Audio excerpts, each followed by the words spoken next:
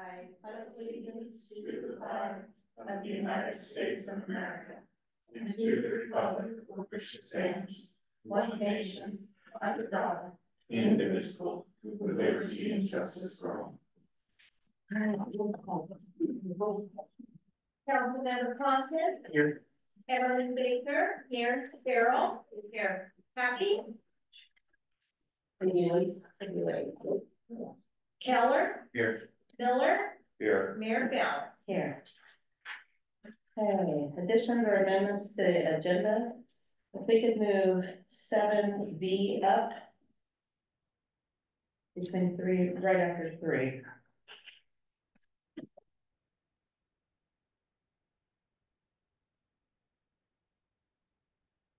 We can do that. Any other additions or amendments? You use that, yeah, please. Keep Yeah, John from the fire all chief. night. Would you like to be moved up? You Okay. go in, he loves us. Okay. All right, so we'll just move seven B up. I did notice this more of a, a typographical error. I put the wrong year for the minutes, should be December eleventh and December thirteenth, twenty twenty-three. I got a little excited for the new year apparently. That's okay. Okay. I see that. Yeah. All right. Uh, adoption of consent agenda with the amendments. We have to vote of the, Vote to approve the amended agenda. Roll call vote. Do we have a motion? Is there a motion? I move to approve the amended agenda. I second. Roll call vote. Councilmember Compton. Aye. Evelyn Baker. I, Farrell. I, Keller. Aye. Miller. Aye. Mayor Bell. Aye. All right, now we are, we want to. Adoption of consent agenda. With the changes of the, not twen- December eleventh, yes, yeah. twenty-three, December thirteenth, twenty-three. Have a couple changes, is that after you second it? Correct, yeah, there'd be this discussion. Motion. We Need a motion. I move to approve the minutes of December eleventh, twenty twenty-three, the approval of minutes of December thirteenth, twenty twenty-three, and the ratification of the bills in the amount of four hundred eighty-five thousand, six hundred and ninety-five dollars and twenty-two cents. I second. Okay, discussion? Okay, Um, so on the December eleventh. Page four. Um, we have a CM Farrell said a resident asked if the town has a committee for hometown Christmas. That actually should be. CM Farrell asked asked. Said a resident asked if the town has a committee that organizes events like the hometown Christmas. And then, um.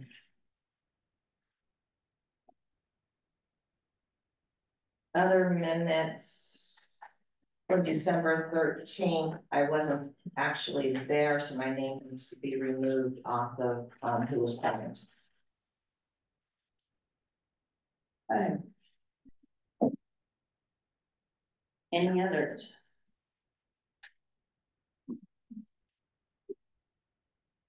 I think. It is excused.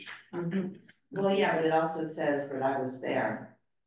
Just, check. Oh, yeah. Oh, it's in both spots, so I was like, clone, It can't be in both spots. yeah. Good job. Unless you really want to. Okay, we have a motion that's added with amendments. Marilyn, you have those amendments? Mm-hmm. Roll call vote? Councilmember Compton. Aye. Evelyn Baker. I, Farrell. I, Keller. Aye. Miller. Aye. Mayor Bell. Aye. Okay. We're going to move at Mount Hood Community College. Thank you for coming. Thank you. Come. You can have access to the chair. Right. Welcome. Thank you. So he's the organized here.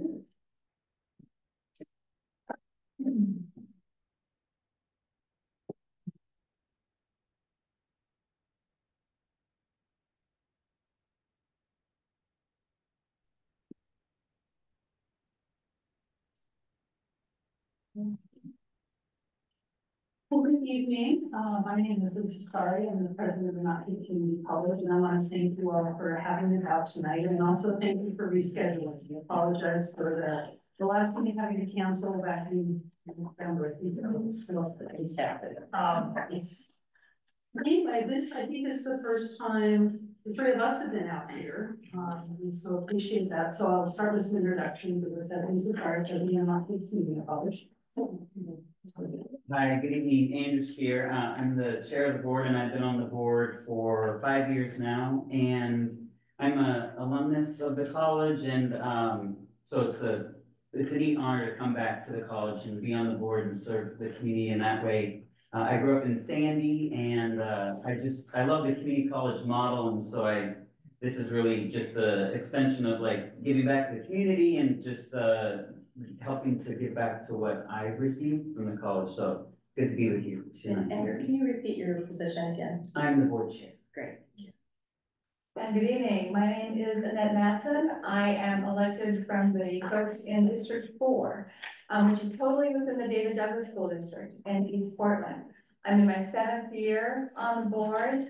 Like Andrew, I'm an alumni of Mount Hood Community College and started back there Oh, back in the nineties, when I was a thirty-year-old working mom with two little girls and decided that, um, it was time to go back to school. Um, and, um, I also served on the David Douglas School Board for eighteen years. Education is truly my passion because I know what a difference it makes in people's lives. To be able to, uh, to be able to get a good job and have a good ordinary life.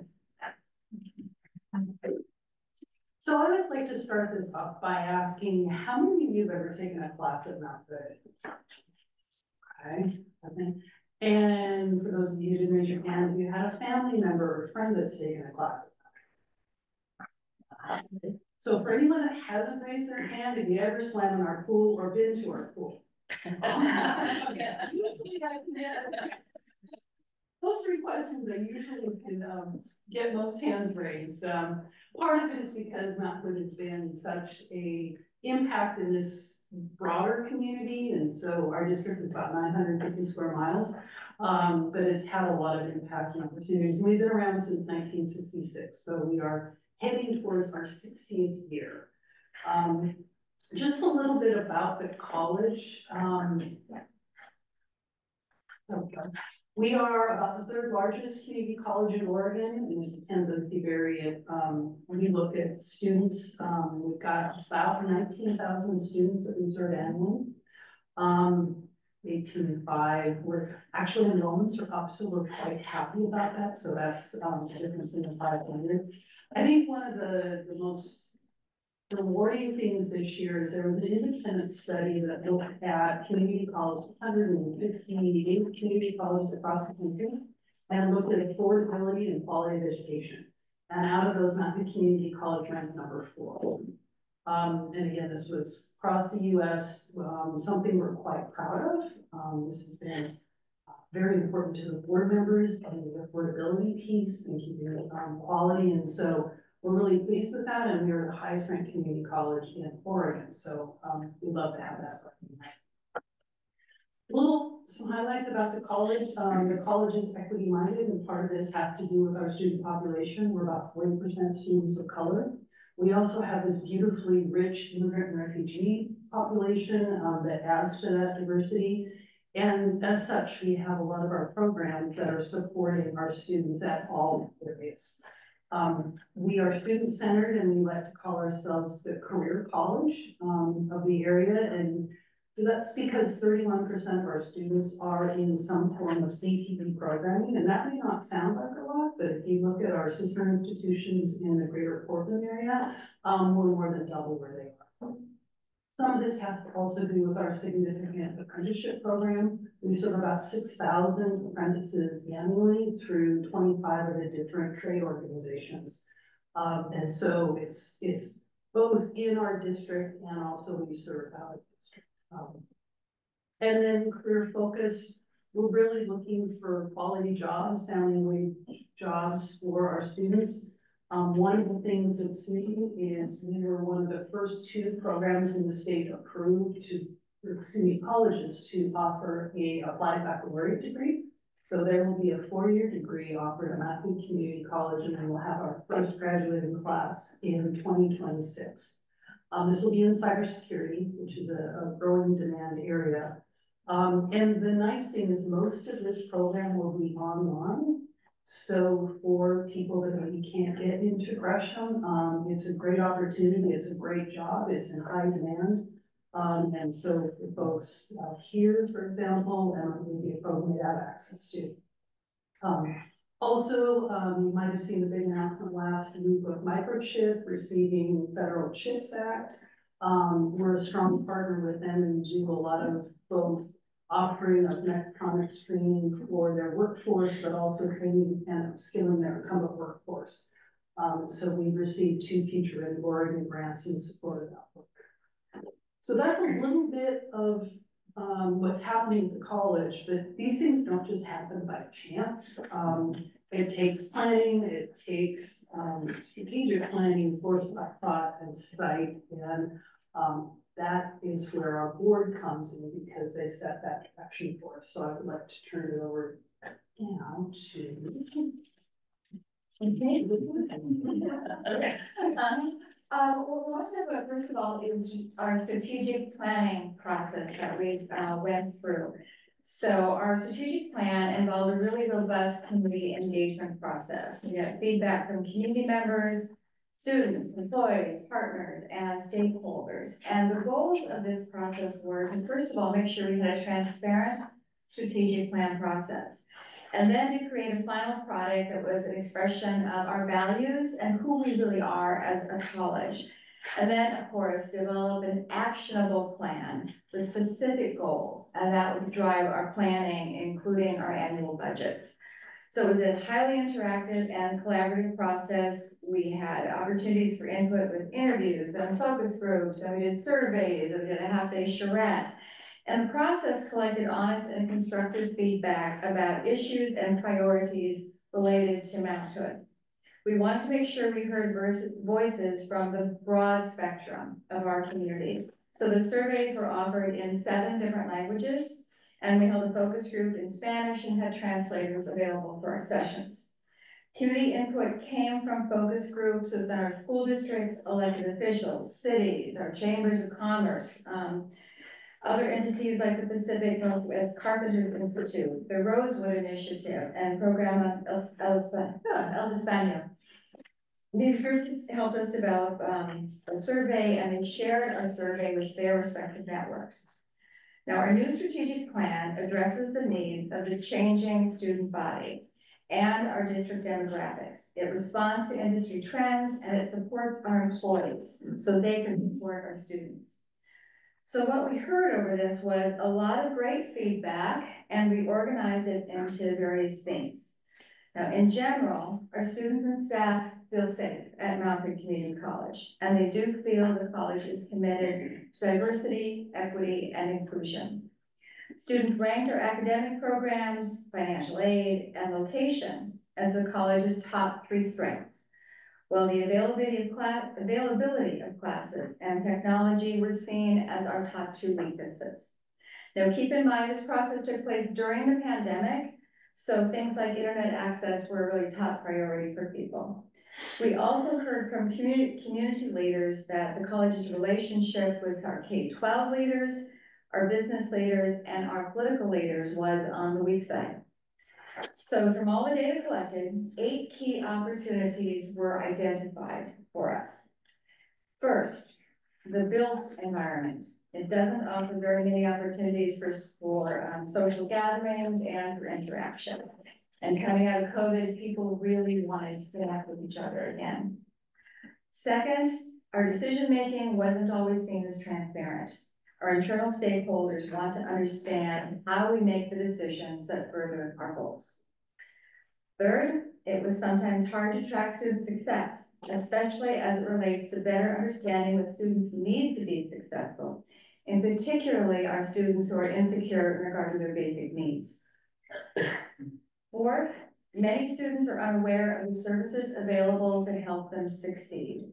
We need to consistently get information out to our students about these services. Fifth, the pathways from K twelve to Mount Hood Community College and beyond are not clearly spelled out. And the college needed to work better to inform parents and our first generation college students. Sixth, our business partnerships vary in strength. Some are really strong, especially in our career and technical education programs. Yet other businesses thought we could do better to relate to them and to identify and respond to their needs. Seventh, the needs of a highly diverse student body are not fully addressed, and the college should better leverage coordination between the college departments and services and our community-based organizations. And lastly, the community is not fully aware of what we have to offer. We need to do better at sharing what we're doing.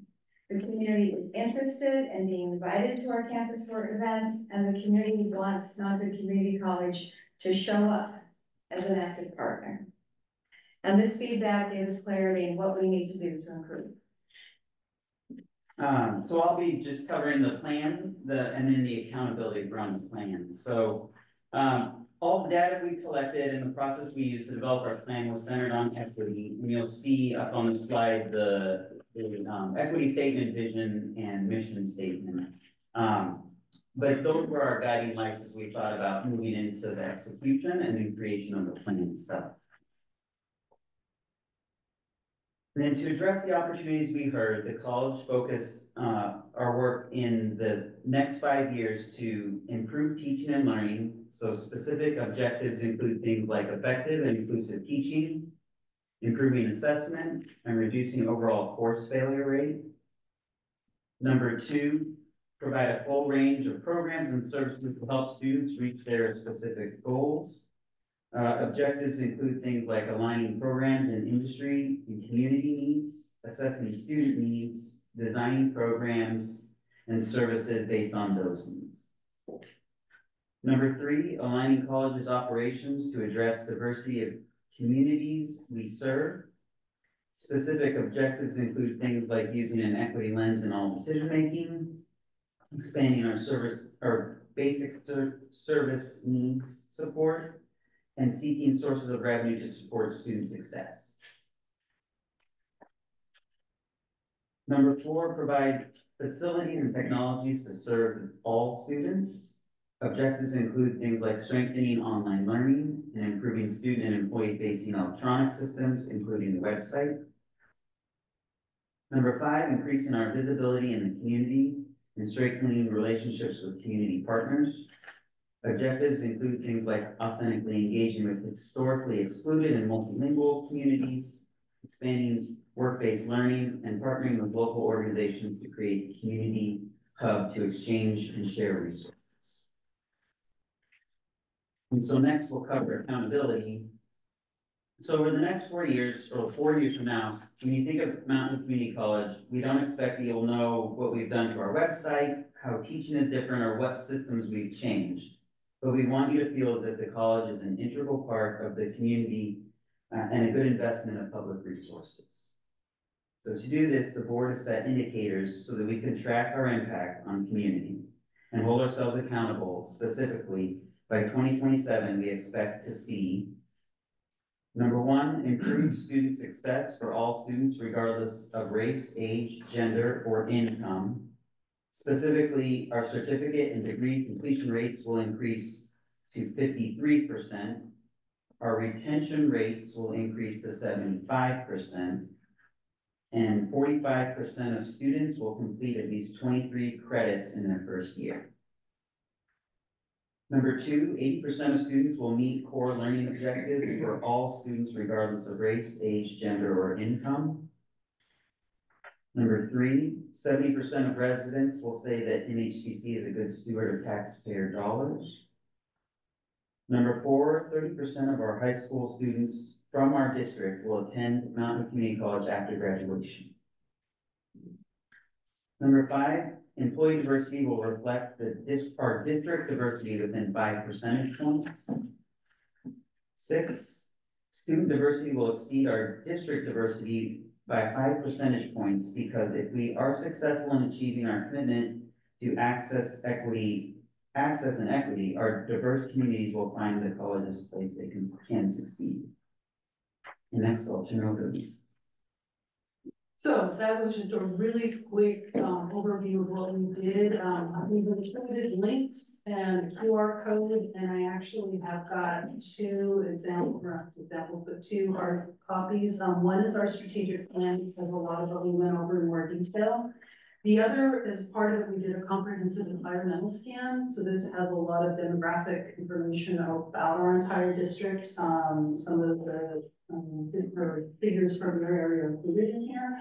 Um, so I'll leave those, um, if you wanna look a little bit more. But we are excited, um, we're about to release our annual update. Um, mentioned, or Andrew mentioned the accountability measures. Every year, we're gonna be reporting on how we're doing, um, and where we've had success and maybe some areas we're, we're working on. But that is our plan, um, and so we appreciate the opportunity to share it with you, and then want to open it up and see if you have any questions we can answer. Councilmember Baker. Hi, I, thank you for being here, and, um, I understand that Cascade Locks is in the district of Mount Hood Community College, which honestly doesn't make sense to me, we're in Hood River County. Hood River Community College has campus in Hood River. So are you doing any tracking of of Cascade Locks students? Are you tar- getting, sending any targeted, uh, information to Cascade Locks families? And does this districting, and I apologize for not having done my research, go all the way to Hood River? No, or just, So this Right. is, yes, um, so we have an interesting relationship with the school districts in that when Cascade Locks had a school district, um, that's how you ended up in Mount Hood service area. When the merger happened with Hood River, um, Hood River School District is in Columbia Gorges District. right, And so, um, based on some guidelines and whatnot, they're the primary communicators with the families with, uh, in the school district. And so I've worked closely with their president on, um, what we do and how we do it, but that's been part of, I think, the challenge in serving you. But then also realizing that at least with high school students, it comes from Columbia Gorge. Hmm. But yes, I It's agree. interesting. Interesting. it is, yes. We're all perplexed on that. Yes, and, yeah. It's sort of like being in David Douglas and Parkrose, and we are part of the city of Portland due to annexation, but not part of PPS, but it's that, but we have the connection with Falcon Community College, because Right. historically, it's oh, oh, not quite as strange as, this one is Yeah. different. History. And different people do lines on maps. And it's been like forty years since I attended or for for years, forty-one years. But um, I have a question, they used to have a really good nursing program. Do you guys still have a nursing? Do, I did not know that. Um, we have nursing, we also in the health professions, we have, um, dental hygienist, um, surgical tech, respiratory therapist, uh, uh, Medical assistant. medical assistant, physical therapy assistant, uh, funeral science, um, phlebotomy, and so there's like a whole range and we're, um, also our CNA program now has, um, preferential points to getting into our nursing program. So we try to do that ladder into nursing. I know nursing's a big, yeah, big need. I, I- I'm a professor for CSUN education right now, and I taught at Oregon Trail School District, so I'm quite familiar with Mount Hood Community College. And my, my question is, are we getting any catalogs or anything to, to share? Our, our targeted, I understand it wouldn't help to send it to everybody Mhm. unless they were community classes, but um, I, we are small enough that our graduating senior class uh, Councilman Keller, how many, how many Cascade Lock kids graduate a year, I think?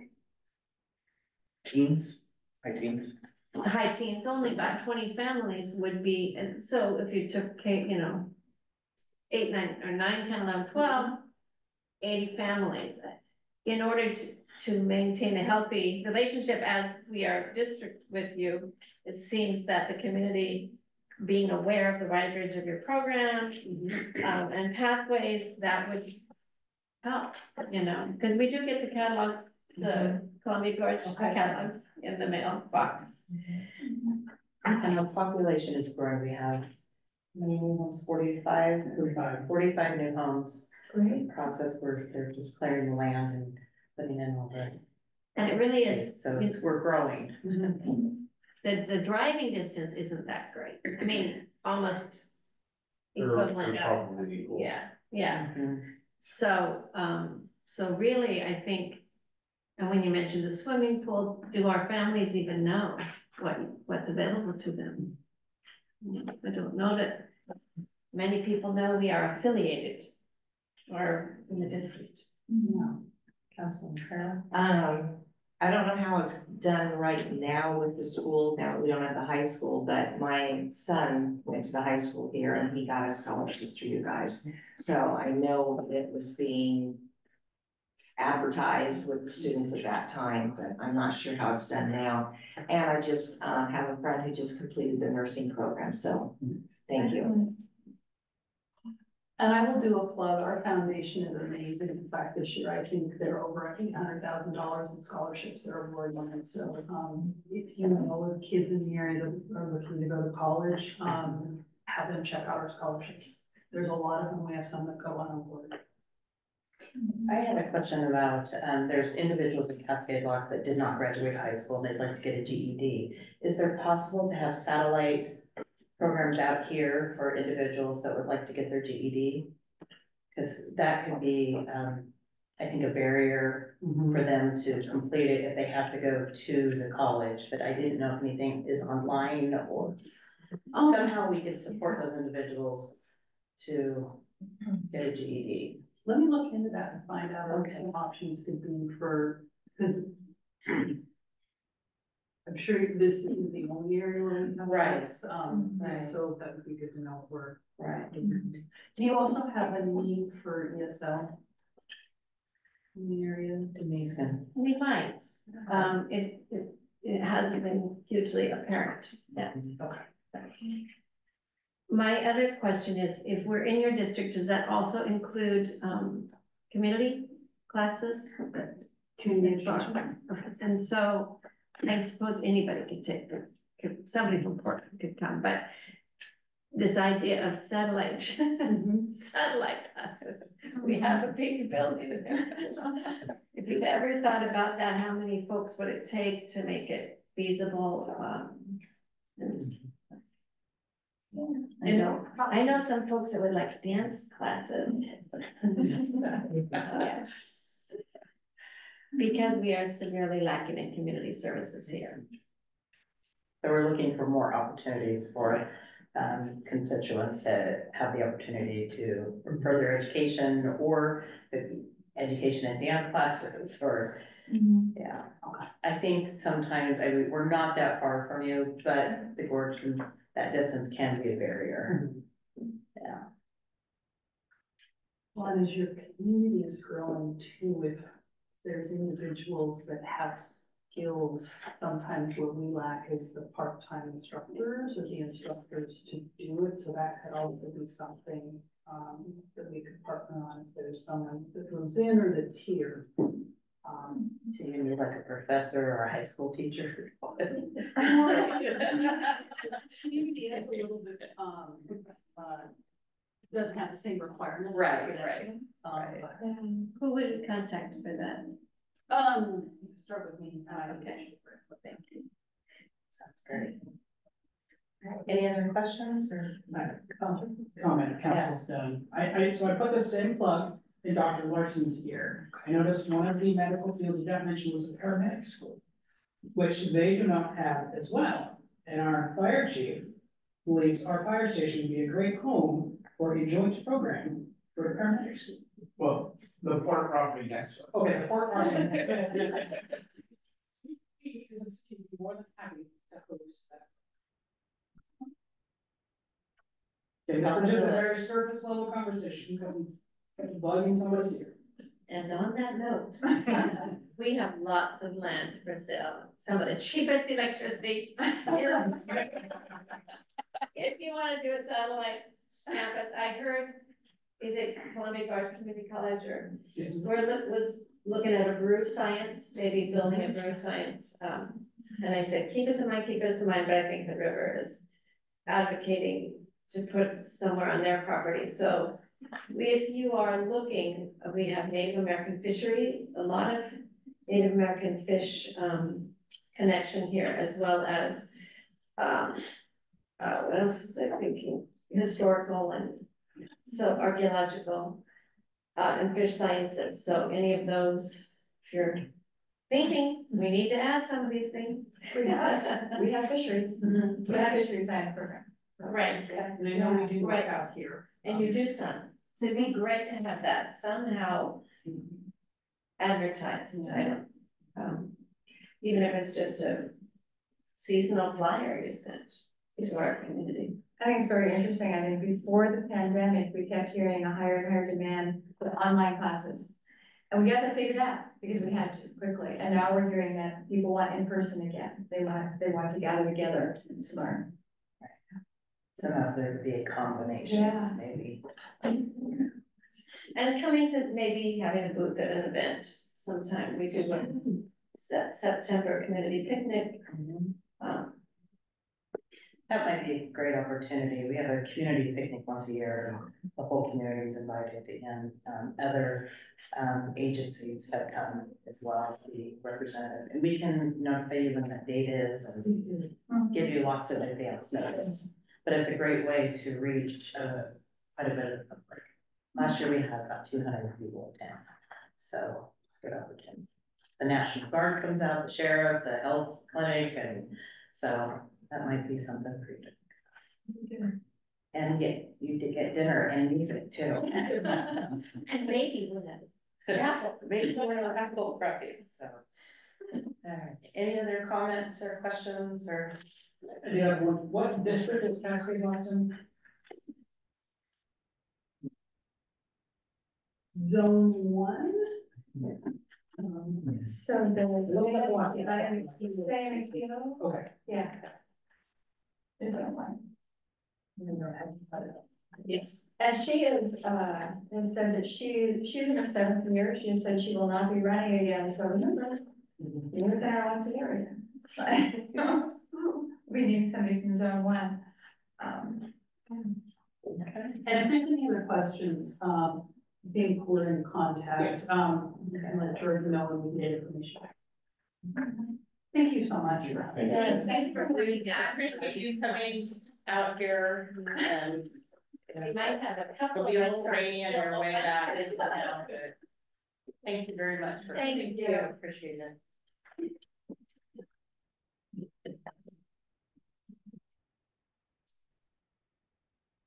Uh, Parents of interested citizens. Everyone, uh, this is Tiffany Pruitt. Just a real sh- short one, uh, I don't even know if I need to sit down, but, uh, something was added to the council packet tonight that you guys got that's not uh, in the online packet, it would just be nice if those things would be added on later online, so that the rest of the citizens, citizens can see what it is. Okay. Thank you. Any others? Okay. Uh, public hearing. No public hearing. Okay, action items, approved resolution fourteen ninety-six strategic plan. Okay, um. So in late winter, early spring twenty-three, city council hired the University of Oregon Institute. Uh, for policy research and engagement to create the city strategic plan, the first step was the creation of a community vision steering committee. The committee held meetings on the board dates, March twenty-eighth, April eleventh, July twenty-sixth, and September sixth, twenty twenty-three. The committee started by creating a survey for input, hard and digital copies of the survey were available for input from the public, public for the month of April and during the community meeting in August. The committee also developed draft mission, vision, and values. A public open house was hosted at City Hall on May sixth to review the draft mission, vision, and values. UO staff compiled the results of the survey the open house and created a first draft of the plan, including action items. The committee reviewed the plan and action items and provided additional feedback. A draft was sent out for public review in late September. Council did an initial review of the council, uh, at the council meeting on October twenty-third, twenty-three. At the meeting, council requested a dedicated work session to review that draft. Council met on December thirteenth, twenty twenty-three to review the plan, notes and changes prescribed by Administrator Bennett and worked with U of O staff to update their plan. Presented today is the final draft after feedback from city staff, committee members, general public, and council. Okay. Is there a motion to approve? I motion to approve resolution fourteen ninety-six and adopt the city of Cascade Locks strategic plan. Is there a second? I second. Discussion? I, I just wanna say I appreciate that we've gone over this several times and that we've made, um, many adjustments that I looked through and felt that I saw were. Hang on, Councilman Miller, Miller, Hunter, hand it first. Um, I was just gonna say, I, I noticed that a lot of the things I had commented on, um, were changed, and I, I really appreciate that, um, it's a lot better. Um, however, one of them, um, in reference to, it reads, return authority of setting fees and rates to city council, um, I won't be able to support that, so. That's all. Councilmember Miller? Yeah, there's a few things in here. Uh. I second, uh. Councilmember Farrell's. Uh. Feelings on, uh, the fees and taxes, I couldn't support it with that either. There's also. The RARE program in it, which is under DR one point four. The RARE program. Pretty much commits the city to hiring an intern. From the University of Oregon at a rate of twenty-six thousand dollars. For about eight, nine months, plus. Supplying that person with a workstation and computer. And I do not believe that, uh, we can afford expenditures like that. And so. And also, I still did not like the lack of citizen participation in the steering committee. And. I didn't like in, uh, oh, some wording in here, the limit, uh, just page one.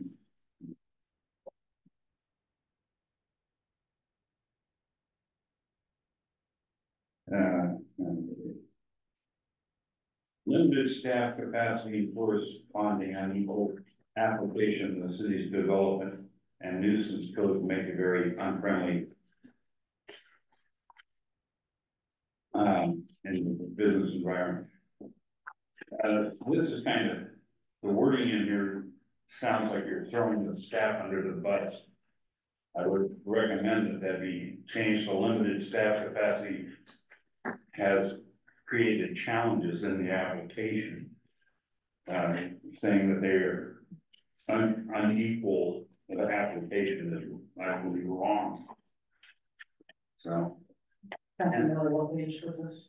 page twenty, it'd be the third paragraph. That, isn't that in community findings, so that's, that's comments from the community. And well, that's still in. Keep it plan here. Point of information, I'm done, so. um, Councilmember Baker? uh, council, point of information, Councilman Miller, where are you talking about? The, the RARE intern, is that under a goal? Uh, Because I, where is DR one point four? Put the page down, so where the, Um, The first blue one. recommendation. right, so it's just a recommendation, it's not committing us, and I think it's a fine recommendation, I brought up the idea of a RARE intern last year. Um, because even at that cost, it's significantly less than hiring a planner or whatever we chose for them to do. And, um, it is my understanding we had a RARE intern in the past here, or RARE interns that did. I have only received glowing report from the RARE interns that were here before. Um, and again, it's just a goal. It's not telling us we have to do it. So I, I don't find issue with that. Any other comments or questions? Okay, it's been moved to approve. It's been seconded. We have a roll call vote. Councilmember Compton, Aye. Emily Baker, I, Farrell. No. This year, sorry. Oh. I Can you raise your hand? I can, Okay. Councilmember Happy? We can't hear you. He's muted. You're muted, Pete. Said aye. Thank you. Keller? Aye. Miller? No. Mayor Bell? Aye. Strategic plan passes. Okay, on to. We did emergency communication procedures, chief. Section. Dave, sorry. Approve lobbyist quote. Thank you. Okay, um, do a read the synopsis, synopsis here really quick. At the December eleventh, twenty-three council meeting, Administrator Bennett presented quotes for lobbying services. A motion for Milio Capital Consulting did not receive a second and the motion died. A motion for Building Innovations LLC was made and received a second. The motion failed due to lack of votes. The motion for Milio Capital Consulting was made again and received a second. Council then debated if the motion that died due to a lack of a second could be brought again. The motion withdrawn and council consensus to have Administrator Bennett ask City Attorney Cleveland if a motion that died could be brought back in the same meeting. City Attorney Cleveland stated there is no issue with the motion being brought back up after previously died due to a lack of a second. Attached for review are all the courts originally obtained by City Administrator Bennett for lobbying services during the twenty-four legislative session to secure funding for the McCord Creek electrical line relocation. Below is a list of the firms contacted. The list was List of the firms was provided by Jim McCauley, Legislative Director for League of Oregon Cities. I guess any questions on how we got to this point? No. Um, in the packet, also you will see an additional quote, um, I think it was separate on your desk from CFM Advisors, I think is their name, advocates.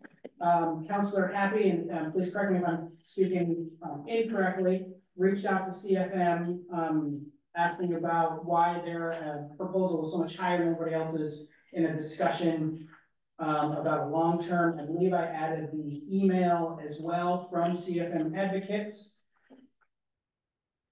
Um, I also had a talk with Dan Marr from Marr, uh, Strategies, Marr Consulting, I don't remember his title or his company name, Strategies, um, about this lobbying effort. Um, he did not provide or did not want to provide a quote for this go around. Um, but did suggest that having one, even if it was for short term, gets us our foot in the door to build those relationships. Um, and he is open to doing a long-term contract with the city and so And he's currently contracted to the. Port. He's currently contracted with the port, yes. Is Councilman happy? Did, is he still available? Right. I'm here. Councilmember Happy, would you like to, I know you're traveling and you're in an airport, so I don't know if you are, have limited time, but. Would you like to I can, if, sure, if this is the appropriate time to do that, I'm happy to share. Uh, I guess my conversations that I had with CFM was, was specifically with Wayland. Uh, and so Wayland is the lobbyist who's really his experience is, is uh, working with ODOT on transportation issues. So he's the one that put together this proposal. And I, I reached out to them because I want, the question I had for him was because in the original proposal, they suggested that it would be better to wait till the twenty twenty-five um, budget season, you know, to, you know, to try to lobby for that one million dollar appropriation. And what came up with council, uh, last council meeting was the concern that if we already had secured a loan, would that make it less likely for us to be able to get funds? And so that was the question I put to them. If they're making that recommendation, that they see that as an issue. And the second question I had was why was theirs so high? Um, and what he explained to me was that when they wrote the bid for the three month contract uh, for the short session, that that was with the idea that it was going to require a lot of political capital to get it approved. A lot of, I, I think, the, it would be very aggressive. He said we'd have to, you know, use up a lot of political capital to get that approved, and he thought it was probably still unlikely. Um, so his recommendation was that, uh, you know, waiting until 2025 made more sense, and he was recommending that begin with uh, kind of middle of 2024 with interagency lobbying, which is something you can see in the printed one that we got from them on Friday.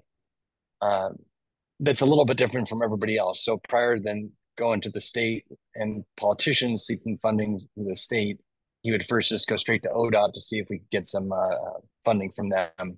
Um, you know, why are they treating us differently than maybe other cities where they've had similar projects where they have uh, paid for those utilities to be relocated.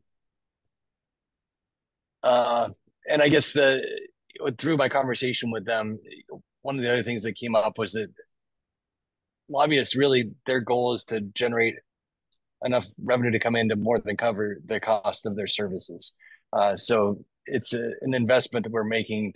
Uh, we've got a lot of projects that we really need some help with. You know, we have an attorney that's on retainer um, I guess what I, I, could wait on this until after we maybe have a, a motion and we could get to this discussion. But that was just kind of explaining maybe that second proposal. Does that make sense? It does. Thank you. Okay.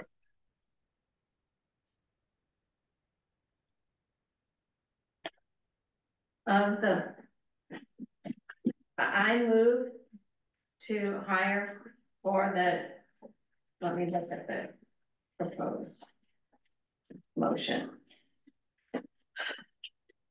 Um, uh, Sorry, I, I motion to approve the quote from Tess Milio in the amount of, I think it was twenty-five hundred dollars a month. About three thousand per month to provide lobbying services during the twenty twenty-four Oregon legislative session. Okay, is there a second?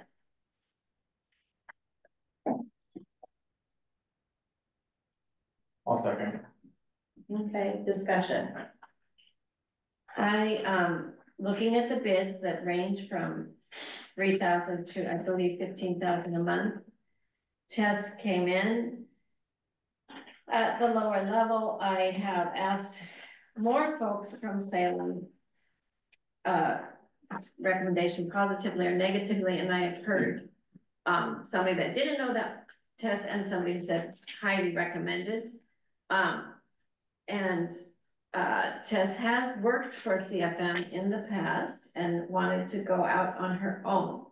Um, uh, and previously said that she has um, worked on projects with ODOT, I believe, Oregon Energy, um, I feel, as was mentioned by Council Happy, that we need some support in this legislative session. I've heard that from folks when I've been asking for recommendations.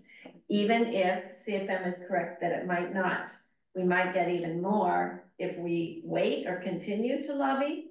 I am of the mind, yes, it would be great if we could retain somebody for five thousand dollars a month with state and federal affiliations for twelve months a year, but I don't think we have that money right now to do five thousand times twelve. Um, I would love to possibly have the same lobbyist as the port, but we don't have any numbers from him. Is that right? I have rough numbers. Oh, Yeah, but it, it, and it ranges, uh, let's see, what is it, anywhere from four to seven thousand a month, depending on what we're scope of work whether it's just state or state and federal or what kind of project it is, or if it's a joint agreement, so it's a pretty big range there. And he would like it long-term, Yes. so twelve months a year. Yeah. And the reason then I am s- currently voting for Tess is we did not budget for this in our current budget. Um, and yet, I think it is, we would be financially irresponsible to spend a hundred thousand dollars on something we didn't expect without doing our due diligence in getting a lobbyist. So we would be out seventy-five hundred, which I think we can budget for. I understanding possibly um, ten thousand if, I don't think we go back to December because we have it. Or three times, I'm sorry, yeah, about ten thousand, three times, uh, three. To see if this lobbyist can, as Councilmember Happy mentioned, bring in more money than it cost us. And that would give us a good experience. I don't know, I haven't with this council worked with the lobbyists to see how is, is it really helping? And then we might reconsider different bids for, in our new budget year, for a long-term. Um, particularly if we then are freed up of some funds that aren't being spent on ODOT. Personally, I think we need a lobbyist this term. Tess comes with good recommendation. I believe from what I'm hearing will work well with this legislative body and is in session every day in Salem, so she's not gonna miss anything. Um, and it would be a good example. There's an ending to this. It's not a twelve-month contract. That's why I would choose Tess. And I see, uh, Tess Milio's on, online Tess. Would you like to speak? Hello. Can you see me? Yes. Okay, great. Yeah, hi everyone. Um, Mayor, members of the council, good evening. Thank you for having me tonight. Um, I saw I had friends in the room earlier, uh, and Annette Mattson, but I guess they have left. Um, um, well, yeah, so my name is Tess Milio, and I'm the owner and lobbyist at Milio Capital Consulting. And you've seen my proposal. I'm so grateful for you guys all considering my bid um, to help Cascade Locks advocate in the halls of Salem. And I, you know, I just wanted to put, I'm here to put a face to the name, and um, that's all I really wanted to do tonight. So good to see you. Tess, I have a question for you. Can you talk a little, in your proposal, you, um, that you would consider an off-ramp should it become clear early that the project would not get funded? Yeah. Um, that was partially because of a conversation I had had um, with your city administrator um, prior to putting in the proposal, just about how, you know, there have been concerns that, you know, you don't want to pay for something when you already know that you're absolutely not going to get your ask, right? Um, so the idea there is uh, bringing this ask forward to the legislature, starting to have some feeler conversations with some key folks who are going to make the decision and see how it goes. Um, probably that would take at least a month um, to, you know, get those meetings set up, get all the materials ready and, and talk to those folks and then hear back. Um, and then, you know, if it really was not a feasible project for this session, um, at that point, we could probably just end our contract early. So that's what I'm offering. Okay. Any questions for Tess? Tess, can you talk about, um, any experience you have with ODOT or similar funding, similar challenges that we're, what we're facing? Sure. Um, yeah, I mean, I think that I have worked with ODOT uh, for many years. Um, I'm close with their lobbyists down in Salem. Uh, and I, you know, have worked for several cities asking for funding. So I, at one point, represented a coalition of different cities who were trying to get a small amount of money for Highway 99 West. Um, we were unsuccessful in that session because that does happen, right? Um, and it was a tough budget year. Um, but then just last year, I helped um, secure um, basically a, a lot more EV uh, funding it was millions of dollars from ODOT directly just by getting legislators to weigh in with them. So it was not a legislative decision, but it was actually the Oregon Transportation Commission that I was able to get um, millions of dollars more than they had planned on giving uh, towards EV um, infrastructure. So really the chargers. Um, so that was something that I just recently did. Um, and that's just two projects. I mean, I actually, I've worked with ODOT on a lot more things. I'm remembering there was a right-of-way issue with the city of Eugene, um, you know, things like that. So yes, have a lot of experience. Thank you. Councilmember Compton? Hello, Jess. Um, I was curious on if you've ever had any success in the short session, um, gaining the funding you're looking for, or has it been mostly from the normal session? Yes, um, it is easier to get money in the uh, traditional long session. Um, that's because it is the two-year budget cycle, and that's where they, you know, are really looking at everything that they have. Whereas the short session is supposed to be more for fixes and emergencies. Um, however, I, I, you know, I believe that we can talk about your issue coming up um, late, too late for the for the two-year budget cycle, and there's a reason for bringing it now. I have worked on this. I have gotten stuff in budgets um, in the short session, but I've also um, seen the short session not happen, right? In, uh, I think it was in 2020, it all shut down um, when Republicans and, and Democrats couldn't agree and um, there were walkouts. So no bills passed that session. So even though, you know, things were lined up in the budget, may not happen. Um, so just, yes, I have had success. I also think, um, you know, it's it's very un, unclear what will happen without conversations. Thank you. Tess, can you talk a little bit about your, um, how you're gonna, your communication, how you communicate, how it's going? Hmm. You mean with legislators? Yeah, updates, just. If you were to be hired, how would your communication? Updates So- with you.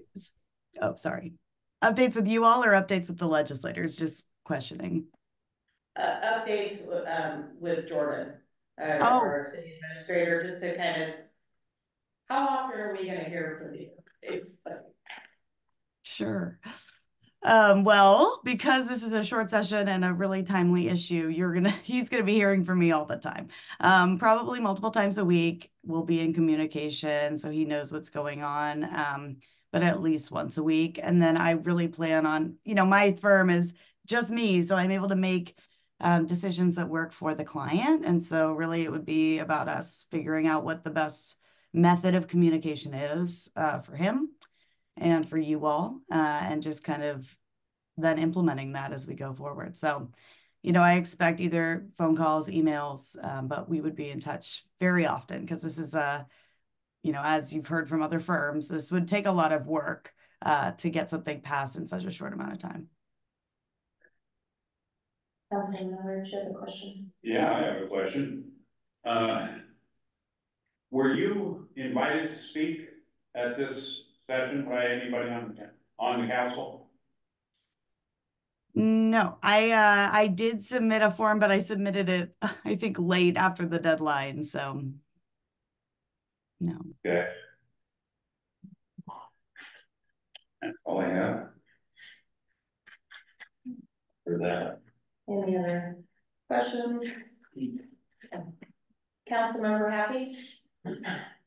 Yes, hi there, Tess. Uh, you and I spoke on the phone a few weeks ago, before Christmas. It feels like ages ago. Um, it's good to see you this evening. Thank you for being here.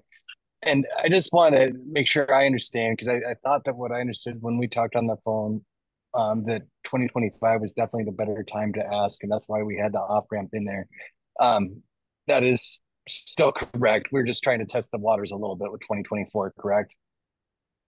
Yes. Um, and I guess my question is, could you see a situation where that could be detrimental and may, in fact, actually, um, not just be, uh, you know, it could actually uh, make it more difficult for us to get funding in 2025, you know, if we're browbeating, uh, you know, and, and being aggressive in the off season? You know, I don't see that as a downside. Um, in fact, I think that waiting could potentially be detrimental in that it didn't seem urgent enough for you all to go forward and ask them um, for this money when this issue came up. So, um, you know, I think that if this is not the time and you're not successful, this is laying the groundwork then for the longer session.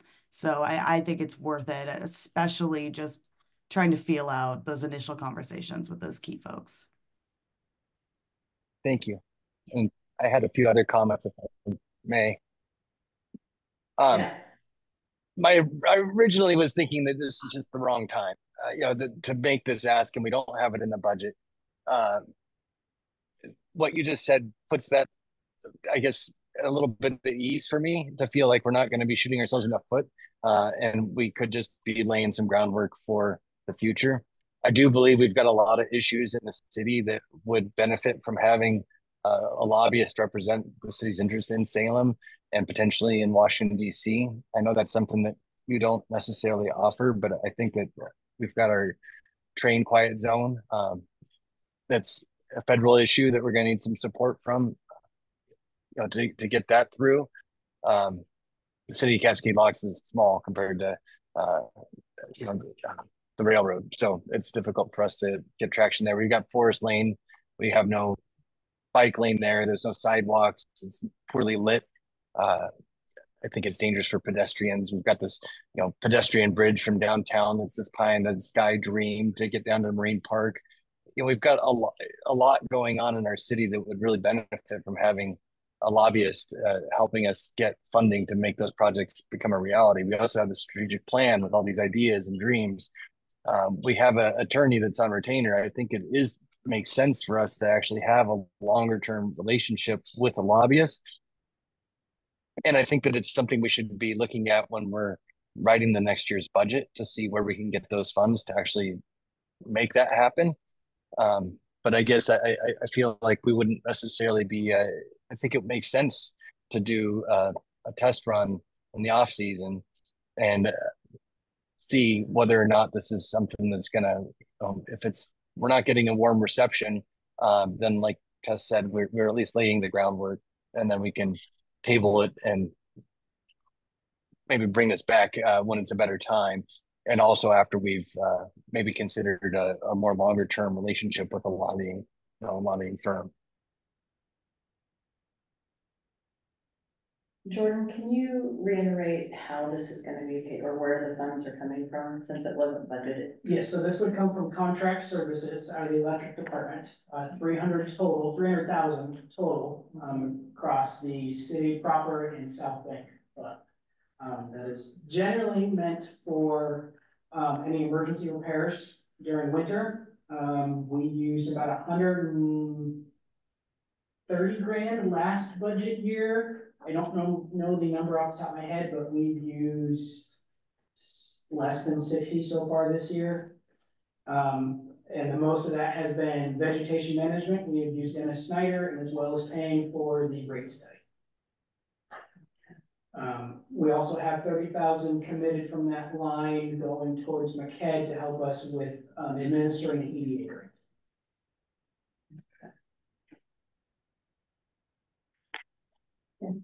Councilman Keller? Um, I would like to echo, um, some of the thoughts that Mr. Happy had. Uh, this is roughly one percent of the budget for this project. And for us to spend one percent for the opportunity to provide extra funding and the relationships, I, I feel it's a necessary cost.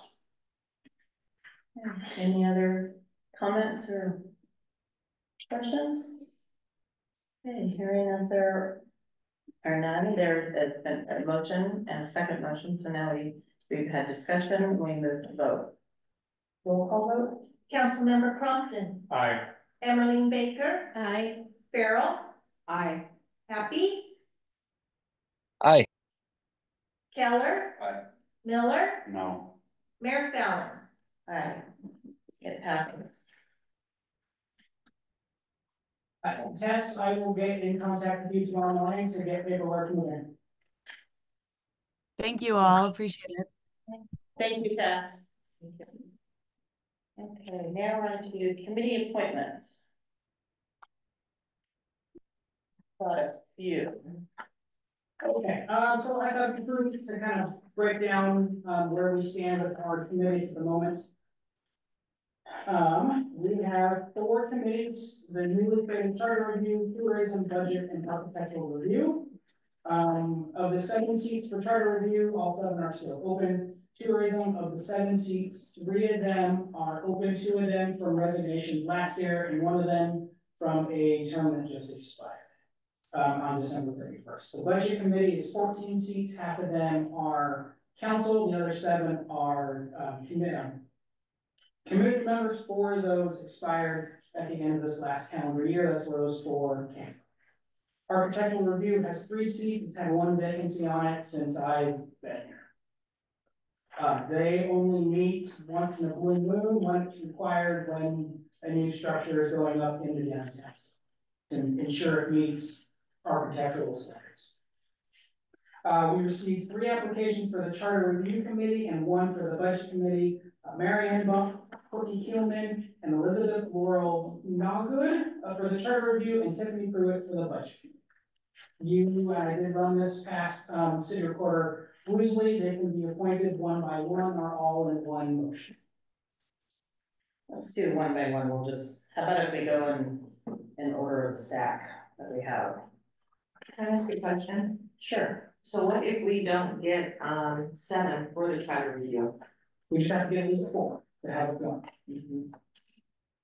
Not ideal, but we have to have at least four for one. Councilmember Miller? I understand there's been two applications submitted after the deadline. Uh, for the charter review? Yep. Uh, we actually got three or four between Friday and today, but they weren't, wasn't time to put them in the packet, so they'll be reviewed at the next council meeting. Okay. So I guess that brings up the other option, the council wants to wait till they have a chance to review all the applications. I would rather review all the applications. And are we going to keep it open then, if somebody else wants to? Until, until all seven are filled, yes, it will stay. open. I'd rather wait then too, till we have them all. Okay. And that's Councilmember just Keller, for charter Denise, review or for the? Councilmember Baker, hold on, uh, Councilmember Keller. I would like, first, it's Kyleman, um, Oh, thank you. and, um, I would like to respect the people that were respectful of the deadline, responsible, and got their applications in early, and we can review the rest, um, to fill the remaining vacancies. I'm open to that. With that, I'm open as, Councilmember Baker? I'm open as well, and it's Noggity, Noggity. Nagadi. Okay. Thank you. At bare, Councilmember Crompton? at bare minimum, I'd like to go over the budget and the applications tonight. Anyone, you can make a motion at any point, just go ahead, so. If you wanna move the discussion along. Alright. So it gets down to, um, voting on these this evening, the ones that met the deadline, they're here now, and then we can still, next council meeting, look at the remainder in the packet, and then to fill those vacancies. Is that consensus, or?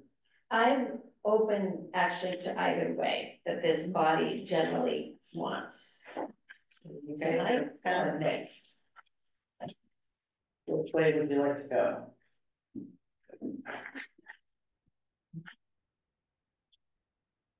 Well, let's honor the ones that have already submitted their applications and hear them now. Is everybody in agreement, consensus? I just want to point out that Elizabeth Laurel Noggity is my sister, but I don't think that there is a financial ethical Any conflicts? conflict there. Okay. Okay. All right, so we're gonna move forward. Okay. All right, let's, um, in my packet, I have. How do you pronounce the word Los Angeles? It's safe and voting. Naughty. Naughty. All right. So Elizabeth Oral Naughty, she is up for Charter Review Committee. A motion to accept.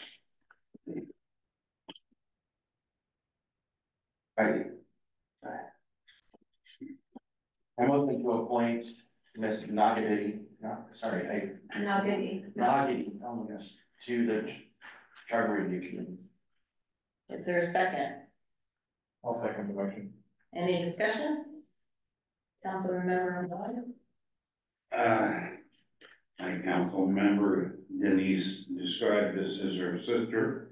She also works for the court. And there could be a potential conflict there. Uh, I don't like this idea, especially a charter review committee and having a relative on that. That's just way too close and we're getting into a lot of nepotism here. Uh, So I would not be in favor of this. Councilmember Keller? I would like to note that Mr. Blue served on this council and also was financially employed by the court. Good point. Councilmember Baker? And we do have somebody on a planning committee related to somebody on council. And I want to remind this board, this council, that a committee serves to investigate and recommend. We still have all the power to vote on anything. We're asking them to do some of the work to investigate and recommend, not to make any decisions. So if the fact that somebody is related to me, again, this, this town is very small. I'm sure there have been examples in the past of relatives on a committee and on council and or court staff and or. Um, so that, if you look at Laurel's background, it's a giant amount of um, great experience and intellectual knowledge that she would bring to uh, any kind of literature review, which the charter review is, um, and research. Councilmember Miller? Uh, answering, uh, Councilmember Keller, uh, when Jeremiah was a city councilor, he recused himself from all dealings that involved the court. Councilmember Keller? What would the charter have to deal with any forms with the port? Okay. This seems redundant and wasteful of our time, like, Okay, so in interest, there's been a motion, it's been seconded, we've had discussion, is there any other discussion? All right, roll call vote? Councilmember Crompton, Aye. Emmeline Baker. Aye. Farrell, Aye. Happy, Aye. Keller, I, Miller, No, Mayor Fallon. Aye. So Laurel. Not, not getting passes, so she uh, will be on charter review committee. Okay, next one, uh, is Courtney Keelman, I All right, Courtney Kyleman. Is there a motion? I motion to appoint Gordon Kyleman to the Charter Review Committee. I second. Any discussion? Okay, hearing there's no discussions, go to roll call vote. Councilmember Crompton, Aye. Emmeline Baker, Aye. Farrell, Aye. Happy, Aye. Keller, Aye. Miller, Aye. Mayor Fallon. Aye. Courtney Kyleman. Okay. Appointed Charter Review Committee. Thank you, congratulations. All right, next one is uh Mary Ann Funk. She for the Charter Review. I motion to appoint Mary Ann Funk to the Charter Review Committee. I second. Discussion? Discussion. I am, I'm noting that Marianne did not put her name under budget, but instead charter review, and I thought. Marianne did a fine job on budget, but I don't see Marianne to see if that's something she would rather do. Her, she still has two years on it, she's still on, Oh, you can be on two committees? Yeah. yeah, Bernard's on all of them. so- Yeah. Yeah. You can, yeah. Or, or close to, Okay, You I can't didn't know that. was hold in the- to elected positions. yes, exactly, yeah. Okay, any other discussion? All right, hearing that there's no other discussion, roll call vote. Councilmember Crompton, Aye. Emily Baker. Aye. Farrell, Aye. Happy, Pete, you've been delayed and didn't catch it this time. Aye. Keller, Aye. Miller, Aye. Mayor Kell. Aye. All right, she, Mary Ann Don Chassis, and she will be on the charter review. Okay, next one up, this is Tiffany Pruitt, she is for applying for the budget committee. A motion to appoint Tiffany Pruitt to the budget committee. Discussion? Hey, Aaron's, It was eye-opening last year and thank you for your detailed, um, comments and work. okay. Motion second, hearing there isn't any other discussion, move to a roll call vote. Councilmember Crompton, Aye. Emily Baker. Aye. Farrell. Aye. Happy, Aye. Keller, Aye. Miller, Aye. Mayor Kell. Welcome to the. Again, again, you're good at it. Okay, so now we're on to reports and presentations. Committee report. Uh, no committee reports. And we will note that tourism is meeting in the library. I'll that. So they should report next, next meeting. Um, the contract did state, um, they did quarterly reports. I don't know when the next quarterly report is. I can ask. All right, then not to move them on. So now we're on to emergency communications procedures. Now. I, I did ask people to roll this into this quarterly report that counts. It's covering multiple topics. The emergency communication procedures was the initial discussion. It was, uh, so in my staff report, uh, it just starts out with, uh, year in review of twenty twenty-three. Uh, we ran four hundred and twenty-five calls. Uh, there was also a spreadsheet, uh, that I originally submitted to, to Jordan. And then today I got even more into the, the weeds and nerded out just a little bit on our, uh, responses. Um, we came up with seventy-seven percent of our calls last year were medical, twenty-three, uh, percent were fire. We did take one inter-facility transfer from Hood River to a Portland area hospital. Uh, and then I have them broke down, uh, into months and number of calls per month. Uh, by far, July was our busiest month, uh, last year. And then I broke it into areas that we respond. Cascade Locks includes the city as well as our area on I eighty-four that's within River County, within our ambulance service area.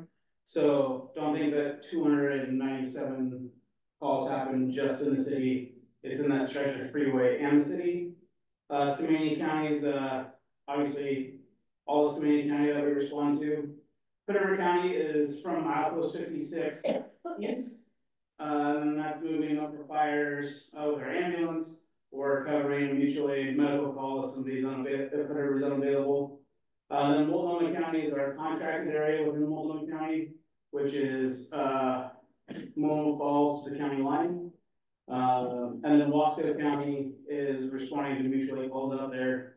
The three in April were actually move ups, uh, was one move up with an ambulance to help, uh, help them out when they were really low in the river and Parkdale could not staff an ambulance to go. And we had one staffed as well as a backup staff here in the city. Uh, and while we were there, we picked up two medical calls, uh. So, and then the other three in Wasco County were wildland fires. Um. So it's really broke down into to medical fire. but within medical, you have trail rescues, you have motor vehicle collisions, heart attacks, all the medical and trauma stuff are in there. Fire, uh, you have wildland fire, structure fires, lift assist, fire alarm activations, uh, anything that's not medical is all in there. Uh, so it was really interesting for me to dive into this data and, and figure out where we're spending most of our time and what we're spending it on. Uh, and then I really got into our, uh, ambulance transports this year. Uh, we had hundred and fifty-three transports in the, uh, year twenty twenty-three. We went to eleven different hospitals. And then kind of some historical data, in twenty twenty-one, we had one, hundred and twenty-seven, uh, transports. Um, and then twenty twenty-two was a weird anomaly, we had one hundred and seventy-two transports. Um, that was right after COVID, and our call volume went up in twenty twenty-two. Um, just with everybody Back on the road. back on the road, back doing things, um, we really spiked in twenty twenty-two. So it'll be interesting to see how twenty twenty-four, uh, shakes out and, uh, what the numbers are. Uh, any questions about what we responded to, where it was, any of that, uh, data? Uh, I have a question. Now, the Cascade Locks calls are obviously calls originating here. Do you have a breakdown of the calls in Cascade Locks that are for non-residents? I have actually asked our, uh, building provider to give me that information if they can, um, based on the number of transports, who is actually using the service the most. Um, but like a total granular one that if we put in transport, then I probably don't have that data, because we don't track that, but on the transports, we definitely track that whether resident or non-resident, and that affects their, their bill. So I'm waiting for the billing company to get back to me.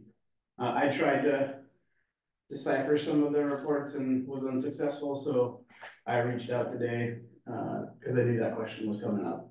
And as soon as I get that answer, I will forward it to Jordan, uh, for you. Um, if this continues, like with July being the highest. Um, this, this year that we're in, do, I mean, how did you handle that? Do we need to do, make any changes? To be better prepared for that high number of calls, or did we do okay? I think we did okay, and that kind of leads into the next, uh, bullet point is our seasonal staffing grant from the state fire marshal's office. Uh, that drastically helped our situation, adding, uh, those two full-time seasonal positions. And putting, that puts an extra person at the station for ten hours a day, seven days a week, and on Tuesdays. There's, there's two extra people there, so there's four people on duty on Tuesdays. And Tuesdays was the day we picked because it's also our drill night to allow them to attend our drills and. Uh, really get in to, uh, meet all the volunteers and interact with them. Um, but I'm hoping that the state fire marshal continues that grant program. And we are going to apply for it again next year, this year, if they do. Um, this year they really focused on the, the hydrant system. And going out and making sure all of the hydrants were in inventory. That they were all greased, that they got we needed at least once. Uh, and they took notes of what that hydrant needs going forward, whether it needs painting or snow flag. Um, and so we're gonna start working on budgeting and paint and that sort of stuff for them to do this year. Um, So we can keep our hydrants looking good and accessible. The snow is coming, so are you? They all had flags. Some of the flags were, you know, a little wonky, but, you know, as money, uh, becomes available, we can replace those with, uh, flags that aren't as old and beat up. Also, what was so s- different about October? October was the second highest month of the year. That is a great, que- I think it, you know, it was a very mild October. There wasn't much weather wise to really drive down our numbers. Um, And so people were, were out doing things still. Um, September's always been kind of a little weird anomaly. Um, sometimes it's really high, sometimes it's really low. Um, but yeah, October was a little, little weird. Uh, I didn't exactly go back through each, like the reports and kind of figure out what type of calls happened in October, um, but yeah, it was, it was a little funky. Thank you for chasing down that grant again, if it's available and. And, uh, the last kind of paragraph, uh, talking about pushing out information. Um, it's a very tricky and hard thing to do. Uh, myself, uh, one of our firefighter paramedics, and another, uh, person are the three people that have access to utilize Cascade Locks Fire and EMS, uh, Facebook page. Um, and if we're all on the incident and busy, um, we don't exactly have a lot of time to push out that information. Uh, how I look at information, if it's going to impact the community and there's gonna be evacuation notices, that kind of stuff, I'm gonna stop what I'm doing, I'm gonna post, I'm gonna try to get that word out as soon as possible. If the incident is blocking a major escape route from the town, I'm gonna push that information out as soon as possible. If it's an incident that is fairly visible, but is not gonna impact the community in any way, or is not blocking any sort of major escape route, I'm gonna get to it when I can get to it. Uh, it's not that we're trying to hold, hold information. Um, and depending on where it's at, I may be on one or two or three different radios trying to coordinate a response. Um, I have looked into, um, apps that do it. Uh, the most prevalent one in the Northwest is Pulse Point, um, which sends out an alert to people who have the app, who follow said agency, that they're responding to a call. It doesn't necessarily give any updates like, oh, evacuation notices. It's just, there's a call in this area, so people are aware. And, and for a year, for our size, it's eighteen thousand dollars, which is way too, too expensive. Um, so I'm always open to new ideas and how we can push out information, uh, faster, quicker, uh, accurate is the big thing. Um, so just know that I work very hard to make posts on incidents that greatly impact our community. Can you talk a little bit about, I mean, you've touched base on best practices, but I know we live in a very small community. A lot of people have your phone number. Yeah. And there was a fire incident where there were, um, citizens in the community that were texting him. And he is on a big fire. He's not going to post on Facebook. That's not what he's thinking. So if, because a lot of, we all know everybody, people have our phone numbers. So maybe, I know people were texting me and I said, keep an eye on your web, on your Facebook page. You'll, you'll make a post as soon as, as soon as you know. So try to mitigate and lessen calls to you. So is there any other best practices that you would like to see? No, I mean, Just refer to your Facebook page? refer to our Facebook page, it's really our best avenue right now, uh, is our Facebook page. Uh, I know zero about Twitter, uh, or Instagram. I do have a personal Instagram, but I really don't know how to use it. Um, so Facebook is kind of our platform right now to post out information and we try very hard to post as soon as we can. Um, just know that if it's a, a fire and there, like, it's real fire. Uh, as the incident commander, I'm talking on our dispatch channel with our dispatch center, on attack channel with my staff and volunteers. Uh, and I got other responding agencies talking to me on both channels. Uh, so it's very confusing. Uh, to say the least, just in our county, and if we're in Multnomah County, I'm talking to Portland Dispatch, Hood River Dispatch, my staff, and they're all on different radio frequencies.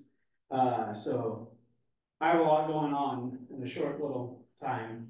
Uh, and I always try to post as, as much as possible. Um, but it is a challenge. we're not fortunate enough to have a PIO that's dedicated to do that. And even if we could afford one, they're still not gonna be at every incident because they, um, we can't predict our emergencies. Councilmember Baker? Thank you. I was wondering is if you're comfortable or if you thought it would be good for the city to put on their webpage or you just that quick reassurance. If there's an emergency and it impacts the community, we'll let you know. Otherwise, do not text or call. Please, just look at our webpage, something like that. Yeah, I can, uh, make a Facebook post about that, um, Post it on our city website. And then- Best practices. the city can Yeah. repost it on theirs. Snow coming and people thinking things are an emergency too, maybe that's a good time. And you know, I mean, I've been, because my husband's a volunteer fireman and has been at other places. I've seen a volunteer PIO, but it takes a long time to get someone you trust, I know that, Yes. and that's willing to show up. It was interesting to watch the Facebook post on the last fire, and the whole said it was going to, it was spreading to the forest and everything, and I knew it wasn't. But I just kept saying, wait, wait for the post, there's updates, it's gonna be okay. And, you know, I just said, keep, I kept referring them back to your Facebook. And then your Facebook, you guys share that on all the other platforms too? So I try to, yes. Okay. Uh, I try to share it to all the Cascade Locks community po- pages, Okay. but if it's. If we're on an active incident and it's uh, hey, this is gonna happen, like, it's just gonna be on our, our. Facebook page, I'm not gonna have the time to share it to the umpteen different Cascade So- Locks fire. Right, Or Cascade right. Locks pages, Right. they seem to be multiplying relatively quickly. Um. So Okay. I try to post to all those other Cascade Locks pages, um. Especially if it's like an announcement like, hey, we're having an open house, but if it's like, hey, Emergency. happening, like, Yeah. I'm just gonna post on mine and hope that. Somebody shares it to those other ones, Okay, um, cause I have a lot going on. right. Councilmember Baker? I presume if it's an emergency that impacts the community, is there a chain that information goes to our city administrator or our mayor, or, I call the city, I call the city administrator. okay, Yeah. so he can maybe Yeah. disseminate some information. John's job is to respond to the incident, my job is to make sure the word gets out. If it's an incident in coordination with county emergency services, at some point they would take over, or the state, depending on the size of the incident. Do you ever share to the social media platforms too? So that he's busy, he calls you, you do the thing, or is that? I have access to, but I don't, I know how. Kathy usually do it one time. Yes, yeah. And and usually the social media platforms pick up yours and they automatically share it. Yeah, yeah, yeah, but it seems like as soon as I share something on Facebook, KATU, KGW, they're all emailing me very quickly. You're getting bombarded, Yeah. turn an incident. Um, I did have a question for you on, um, some of the fire hydrants for the new construction. Mhm. They have the meters left on them, Mhm. and one of them, it's right on Windsong. Yep. On it, and it's, they can't get their car in and out because of the meter that's sticking out like this far. So I said I would bring it up to you and see if you could take a We were look at it. there this summer and when the hose was there, they were having issues doing that. Mhm. Uh, I took up some of our old hose ramps, uh, so they could drive over the hose. Um, but I wasn't aware that the meter was an issue. Uh, the meters and that stuff is more of a public works thing, Mhm. um, than a fire department thing. Okay. Uh, if we get a be call on? and need to access that hydrant, we'll just spin that meter off. Um, and set it to the side, so. Is that something the city, we just keep the meters on and? No, I think they're there for the duration of the project because case they need water. Yeah, and then we read that meter and we charge them for the water they use. Oh, okay. Yes. It sounded like they only used it during the summer to keep the dust down. yeah, not using it now. Right. So. And I'll get with him, see if it, if it needs to stay on till summer again. It's not that big, pretty big. Oh, I mean, Well, mm, it's off, I'll show you on the map. Where- You have to go take a look. I'll log out everywhere. And back to the responses, we did have one call this year in our city that Skamania came and transported for us, uh, because we were on another incident. Uh, so. Which is Just one, just one. that's impressive. Really good job. Any other questions? I mean, we went through that more than they can do, so that's a plus. Thank you again for all you do as a staff, feeling happy with the, I thought there was some change of hours or, Yes, I like the forty-eight hour shift. I can't remember the incident, but there, we got hoses destroyed in some fire and you needed to get them replaced and you were going to look to see if there was a grant or anything. Did we all get that all figured out? Uh, the ho- the wildland hoses that got destroyed on a fire were replaced by Oregon Department of Forestry. So Nice. it was their fire. Herman Creek. Yeah. Any others? Well, thank you. Thank you very much. Thank you for all you do and thank you for your report. Thank you for staying.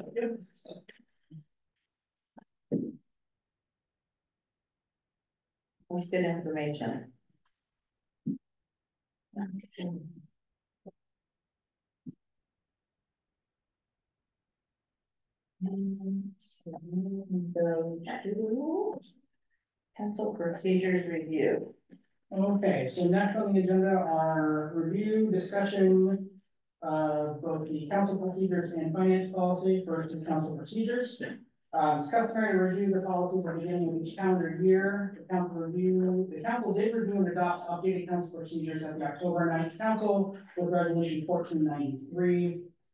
Um, given the recent review and update, staff have no recommendations to council procedures. Um, this is a discussion period allowing individual councilors to bring up and discuss specific portions of the procedures for the procedures as a whole. I did receive some emails from uh, council members, um, Councilor Keller mentioned, um, a social media um, policy, my apologies for not being back to you, Councilor, on that, I wasn't quite sure, um, if you were talking about, I guess exactly how we were thinking that implemented. Um, sorry, I don't know where it is in that copy. But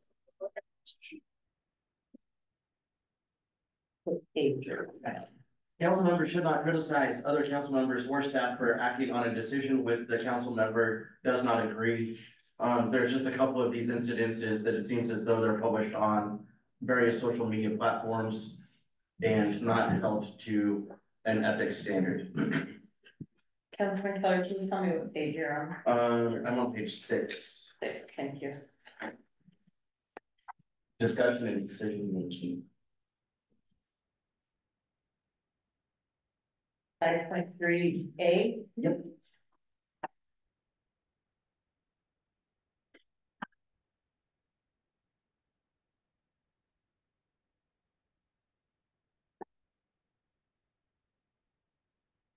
That's something I had highlighted as well. Council members should not criticize other council members or staff for acting on a decision which the council member does not agree.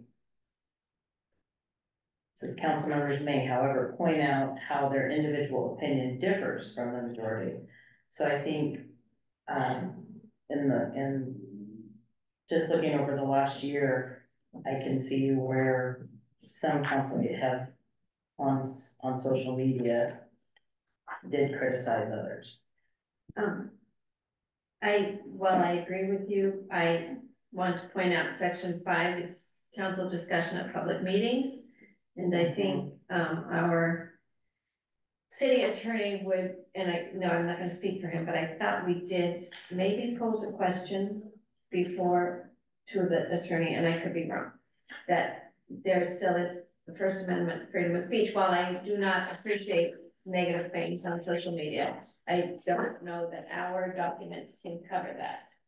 it's more of a decorum and ethics um, modeling to the community that we would hope to stand for, but I don't know that it is in um, I don't think it violates section five.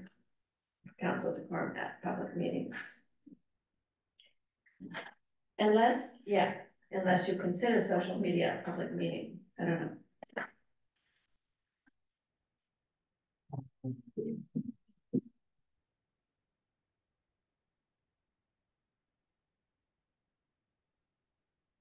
I, I guess I want to echo and what I mean. You do not have the freedom of speech to say anything that you wish as you hold this position. We are, freedom of speech is limited. And I would have to do some research to find out the proper Jew law term that explains this process, but we cannot say what, it- whatever it is that we want to say. Councilman member. Harding? Like, remember, this is, in this five point three, council members should not criticize. It doesn't say shall not. Big difference. So I think maybe that's part of the challenge in looking at this. I mean, there's several areas where it could be underinterpreted, so that's maybe, that's something that we should all look at and change those wordings, if that's what council's wishes is. So, to move forward, um, and even give an example, when Mayor Walker died, it said in the event the mayor is not able to, then the council president steps up, but then there's somewhere else in here that says the council can decide. And so that's when council decided to bring Mayor Tom back and overrode this because it was under interpretation. So I think there's several different areas in here where it can be held to interpretation, which um, Councilmember Miller brought up with just a simple wording. So maybe it's something that council would like to really look at in depth. Councilmember Baker? I agree, and if we look ahead at seven point two or section seven, council relations and communications. Seven point two says council relations with one another in public meetings. Um, despite the diversity, we've chosen to serve in public office to preserve and protect and prevent the present. The present and future of the community. Show how individuals with disparate points can find common ground and seek compromise designed to benefit the whole, and it goes on further. In seven point three and section eight. To, to talk about, um the decorum that I think we're hoping for. Um. Council in eight point one, council members are encouraged to conduct themselves so as to bring credit upon the city as a whole. And to set an example of good ethical conduct for citizens of the community. I could see. We must constantly bear in mind these responsibilities. Um, So it goes back to wording. So Right. encouraged to conduct, it doesn't say it must, you must.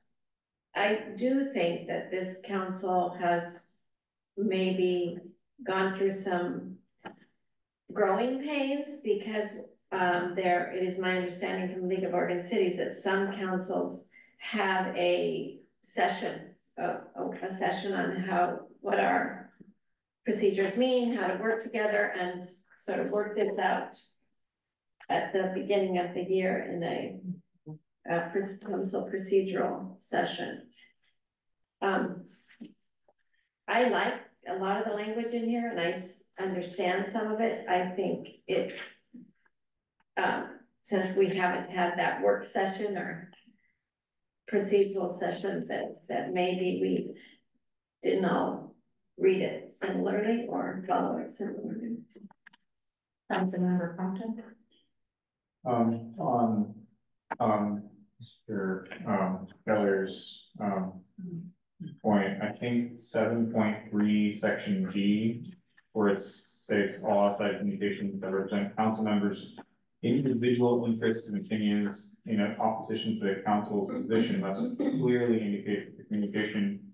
Is not representative of the council's position and is the council member's personal opinion.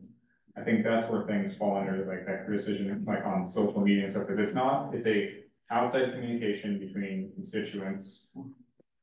And it just needs to, you're allowed to do things, you just have to make sure that it's. Painfully clear that it is your opinion and not that you're, you're not the council's or. Even. You're, you're like, you as a council member, like you as a private person, opinion, because it. As a council member, you're, you're bound by other ethical and other restraints, but not as a private person. So you know, have to, I think, just need to be, because it's already written here, we just need to be more obvious when making and I wouldn't be opposed to in the future, looking at making an entire like section about how to deal with social media appropriately, because in mm-hmm. like the internet and like other forms of that kind of communication, electronic communication, because like a lot of these are good in like theory. But with the way that information is transfer and gathering has changed, even like the past couple of years, it's. This has been a hot topic at, um, like the OMA, Oregon Mayor's Association Conference, the LOC Conference. It's been a real hot topic, and I know, um, some cities, they have a lot of good information on social media, and it's maybe something that we could look at to like a little bit more in depth. And then maybe change some of the wording, so, uh, because as, the thing I've learned in the, um, lots of things in conferences, but the thing I've learned. A lot of people wanna go back to say, they wanna go down a soapbox and say what they feel because they said it's freedom of speech. However, as a public elected official, it's a little different. So you have to be really careful as a- an elected official to just get on your soapbox and say how you feel. So you're held to different standards. So I think maybe, um, it sounds like this is something that we need, uh, maybe a little bit more in depth. Change some wording and have a, have a work session on it. It's an important piece. I know this piece has been referred to. I can't count how many times over the last three years. So it, it is, I think it might benefit if council chooses to, to take some time and we can schedule a time. Everyone could go over it with a fine tooth comb and then we can all figure this out and come to an agreement. Councilmember Baker? Just a point of information, and Marilyn, um, might help me get the number of pages. We have about hundred and eighty page council procedure document on our web page. Um, that is, appears to be scanned documents. There is a section on social media on that, and I don't know. Uh, I think it's called, it's called the council packet, right? Yeah, you all got one. Right. At the beginning of your. So we have that as well, and we might wanna look at that. I'm not sure how, Revisit it. how that is so. And there's a huge section on ethics, mostly financial ethics in that packet as well. Um, and it's, it's available online too, if you click it. It would be great if it was searchable. Um, you know, like we could look for a word. But, um, nonetheless, you can scan through and you'll find the social media section too, to look at what's already there. Yeah, I don't think I'll carry that. So how does council feel about having a work session? Are they, are you good with it the way it sits right now, or? What are your thoughts on it? I need to read the, the portion I think that we just talked about. I, I think that at the moment, we're probably, like, there's more important things that deserve our attention. Um, in work sessions and other things, but we should definitely plan on a less full, so our schedule's not as busy with things, mm-hmm. re- revisiting something like this, putting it on a list of our back burner, right, things that we need to deal with, because I know that we have council goals and planning coming up and what we want to do and making sure that we are actively doing those and not just every new thing that pops up Right. in a weekly thing, having something that's like, oh, this is good to talk about. But is it on our list of goals? No, then maybe we should push it to another, another time. But if there was a time, um, that you go through it, you could send your concerns, like if it's, has to do with specific wording. Or something like that, you could send it to Jordan, that could streamline it. Yes, I agree that we should have something like that and we can do that Yes, from now till whenever that time actually, Mhm. Cause I do think this is a really important piece that's referred to quite often. Council member Farrell, you had a question? Um, well, two things. Um, one, I think it would be a great thing to do, um, every two years with new council members. Mhm. Okay, because I know it's very overwhelming when you first become a council person, so, um, I think that would be a good time to do it every two years. Um, and then I did email Jordan about that two to three meeting preliminary agenda on page five of eighteen. I think he printed out my email from all you guys, because I don't know what that means. That was the only thing that I found. So on page five of eighteen, under four point two, agenda preparation. City administrator and mayor maintain a two to three meeting preliminary agenda. Does anyone know what that means? I asked city recorder Woodley, who's been here twenty-nine years, and she doesn't even know the intent of that sentence is. The only thing, only thing we can think of is maybe to prevent these meetings where they're huge agendas. Mhm. If we can table it to a meeting and even it out, that's the only thing I can. think of. But That's a good point. That was the only thing I found. Oh, and then the, um, refer to, take out the manager on a city manager. And, and, yeah, we can do that internally without having to revote on it. So, Yeah, and those are the only two things I found.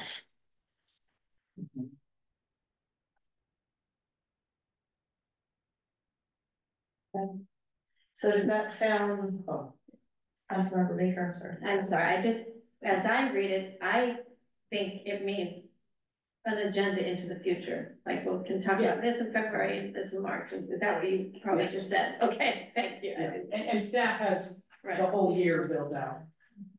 Yeah, On that note, how does it, the council get something on the agenda? The city council, The mayor puts it. either the mayor does it or it's council consensus that it goes on the agenda. And when would a councillor bring up something to seek council consensus at the final At any time during this meeting, closing comments or? no, it would be any time. I mean, you guys have done it throughout a meeting. Okay. Just back to the council consensus. So did all council members have the opportunity to go through it and send Jordan any changes or concerns? So would you like the opportunity to be able to send him? Yes. Okay. So it sounds like council's gonna next couple weeks I send will- you. Compile a list. Okay. And uh, prior to our next council meeting, when do we, or we don't give us a date that you'd like these by? Um, I don't. Like I said, it's not, as Councilor Crompton said, it's not high on the list, but something we need to address at some point. if Council is concerned about it. Trying like to, to next couple of weeks, have an opportunity and. Uh, Councilmember Farrell, you. Does that sound reasonable? Okay. All right, any other comments or anything about council procedures review? Right, now we're gonna go into finance policy review and, um, does Tiffany Pruitt? Uh, to be report first. Yeah. Oh, Yep, I got one report from when you're, um, Mr. Skillman had a comment in the chat as well, he shared before he walked off, so I'll do that as well. okay.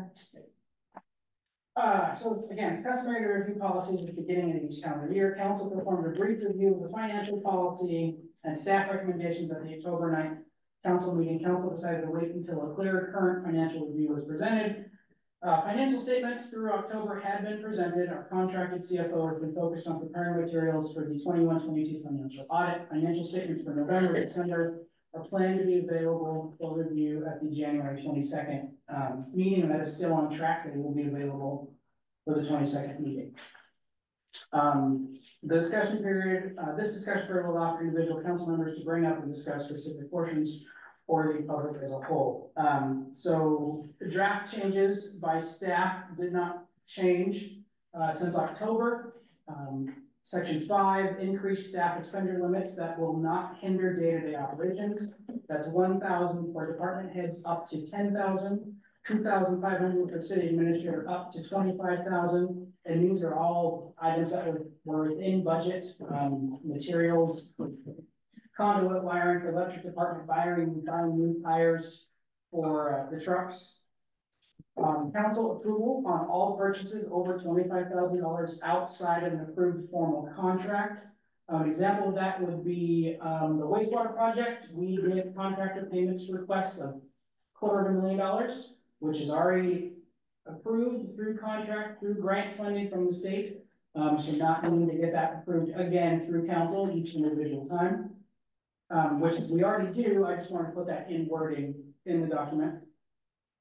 Um, all purchase orders are required, purchase orders are required for all capital outlay, asset improvement purchases outside an approved formal contract. Again, um, wastewater plant is a capital improvement, but it was approved contract.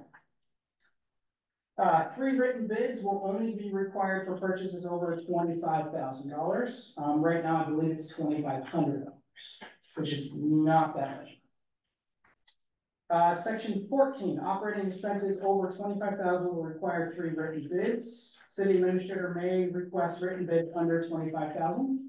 Section fifteen, requirement to contract with MCEDD, um, increases from ten thousand to hundred. Okay, council can approach this discussion in any way they see fit. Okay, that, now it's Tiffany. Mrs. Pruitt.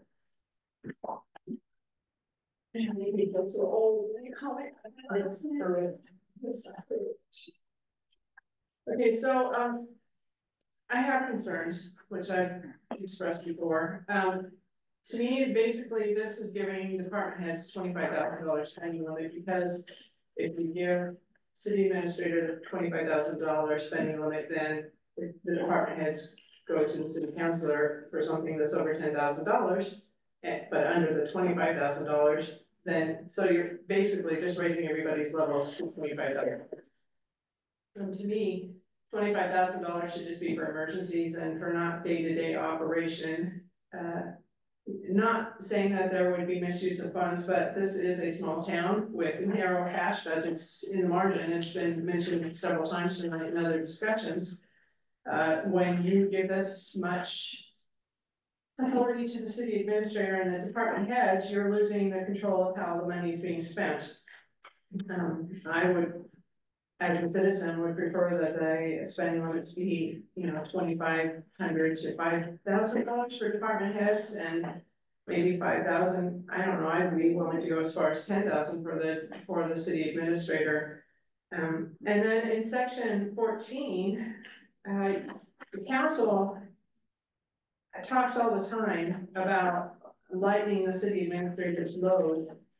Um, to me, moving the MCEDD increase from ten thousand to hundred thousand dollars, meaning that the, the city administrator will be responsible for anything up to hundred thousand dollars before um, turning that over to MCEDD. And there's, with grants, grants are so tedious and so minuscule in how that they can be handled and how the, the money is supposed to be spent.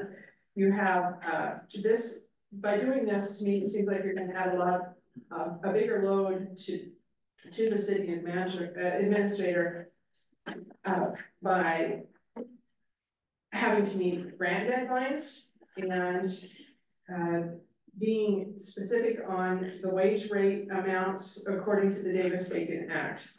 Um, to me, it doesn't seem like a good idea because one tiny misstep can cost us a lot in the future, especially on grants, so.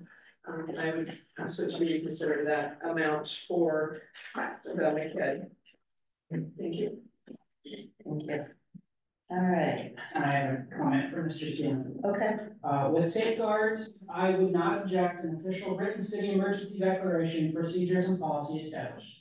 One which explains everything before a cent is taken from the treasury, financial officer involvement and sign off, a public disclosure at the following council meeting along with public notice as required. I believe that may waste the concerns of the taxpayers or city, or our taxpayers of our city, this council manages for us. It- It also safeguards against abuse.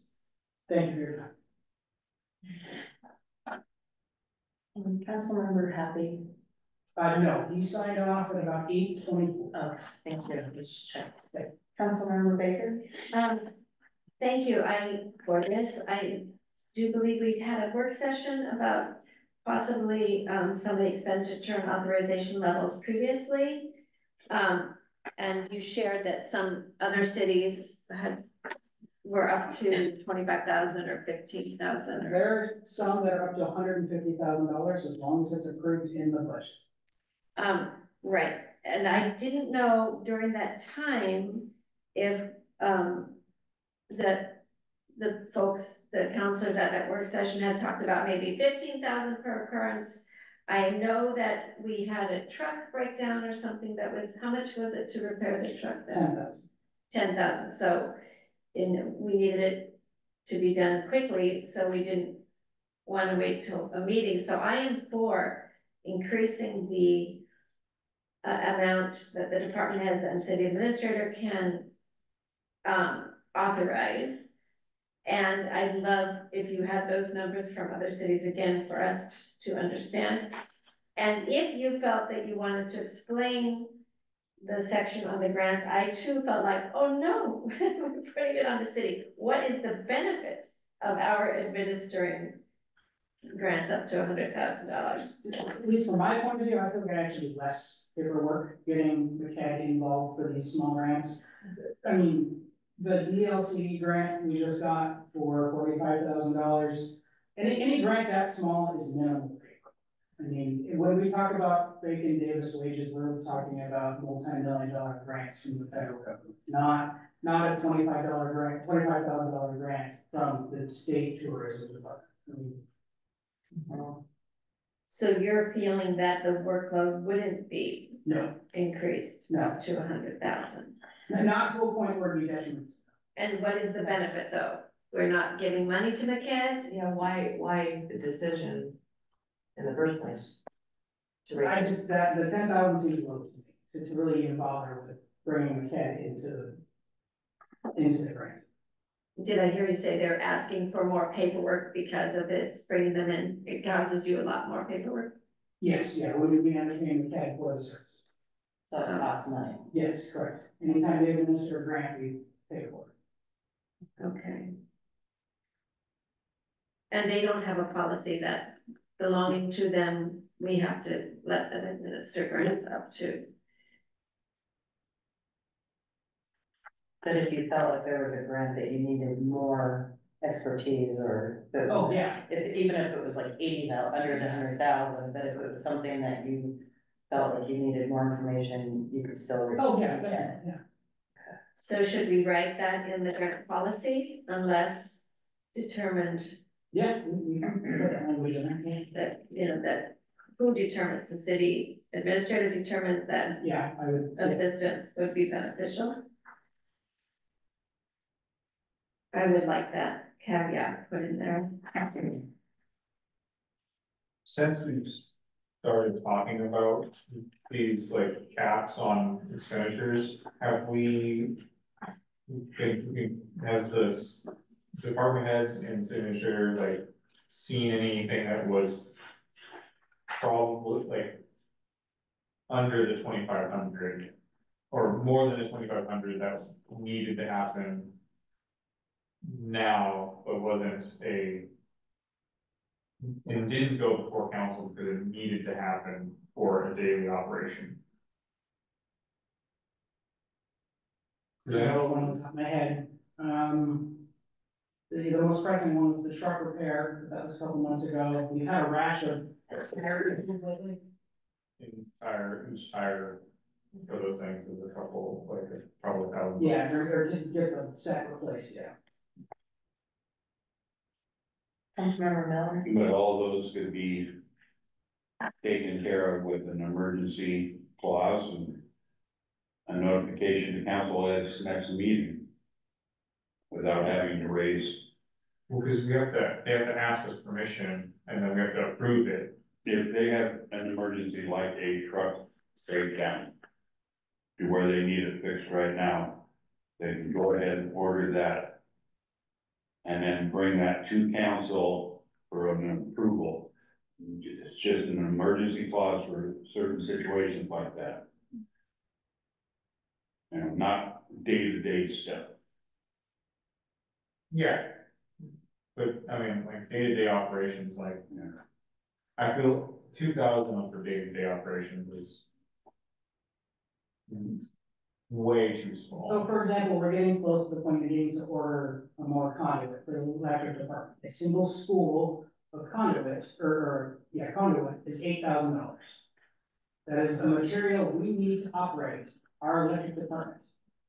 Do you, council want that brought to them at a meeting just so we can do our job? Councilmember Keller, with your hand up first. Um, just to like talk in terms of what twenty-five hundred dollars really is. When I was the head softball coach at Hood River Valley High School. I routinely wrote, purchase orders in the thousand dollar to twenty-five hundred dollar range, just for softball equipment. Like protective netting, game balls, like, and, and to save on the wear, work, you would put all of this into a single purchase order. Uniforms, I mean, I, sweatshirts, like just basic items within an athletic program and like. Like stuff costs a hell of money. We hear Mr. or Chief Logan talk about how expensive fire equipment here is. Like he needs that opportunity to purchase this, these items. They're budgeted. We sit through a budget. We discuss each line item. It's there. We have questions about them. There are checks and balances put in place. We need to keep up with the cost of goods and wasting time here willy-nilly about various financial aspects in purchase orders. Hang on. Uh, Councilmember Miller, you had a question? I lost some thought process Oh, there. sorry. All All right, Councilmember Baker. Um, thank you, Councilman Keller. I am reminded of something at one of the conferences of LOC who said the number one way we can work with staff is to make their jobs easier and let them do their jobs. Um, instead of trying to control every little part of their jobs. And I know in our work session, you came up with reasons for these numbers and shared other cities' um, limits. And that's why they're not shocking to me. Uh, and even though at that time, some folks were talking about fifteen thousand instead of twenty-five. Councilmember Crompton. And I also, uh, the council's goal is to make policy not to make daily decisions. If we're, if we become the daily decision, like whether or not somebody purchases them, like, that's not the council's job. We should be making the policies that when a purchase that matters and likely to unbalance the budget, we make sure that those either happen or don't. and we can plan for them, not something that's not, like, if we're budgeting these things and they're within the department's budgets. We shouldn't be involving ourselves in the daily life, like activity. So I'm, I'm for increasing it, I don't know if twenty-five thousand is the number we should go for, but like. That, like, we can raise it to everything to ten thousand and see if that causes any pains, and then that might be our news point for a while, and then if we get a bunch of things that are fifteen thousand, and we're like, well, now we're doing this all the time, maybe we, at that point, increase it again. I know it's more false, like, it gets, we have to change it more times, but we also don't wanna change it to a hundred thousand dollars and have a department accidentally spend all of their money that they have accidentally.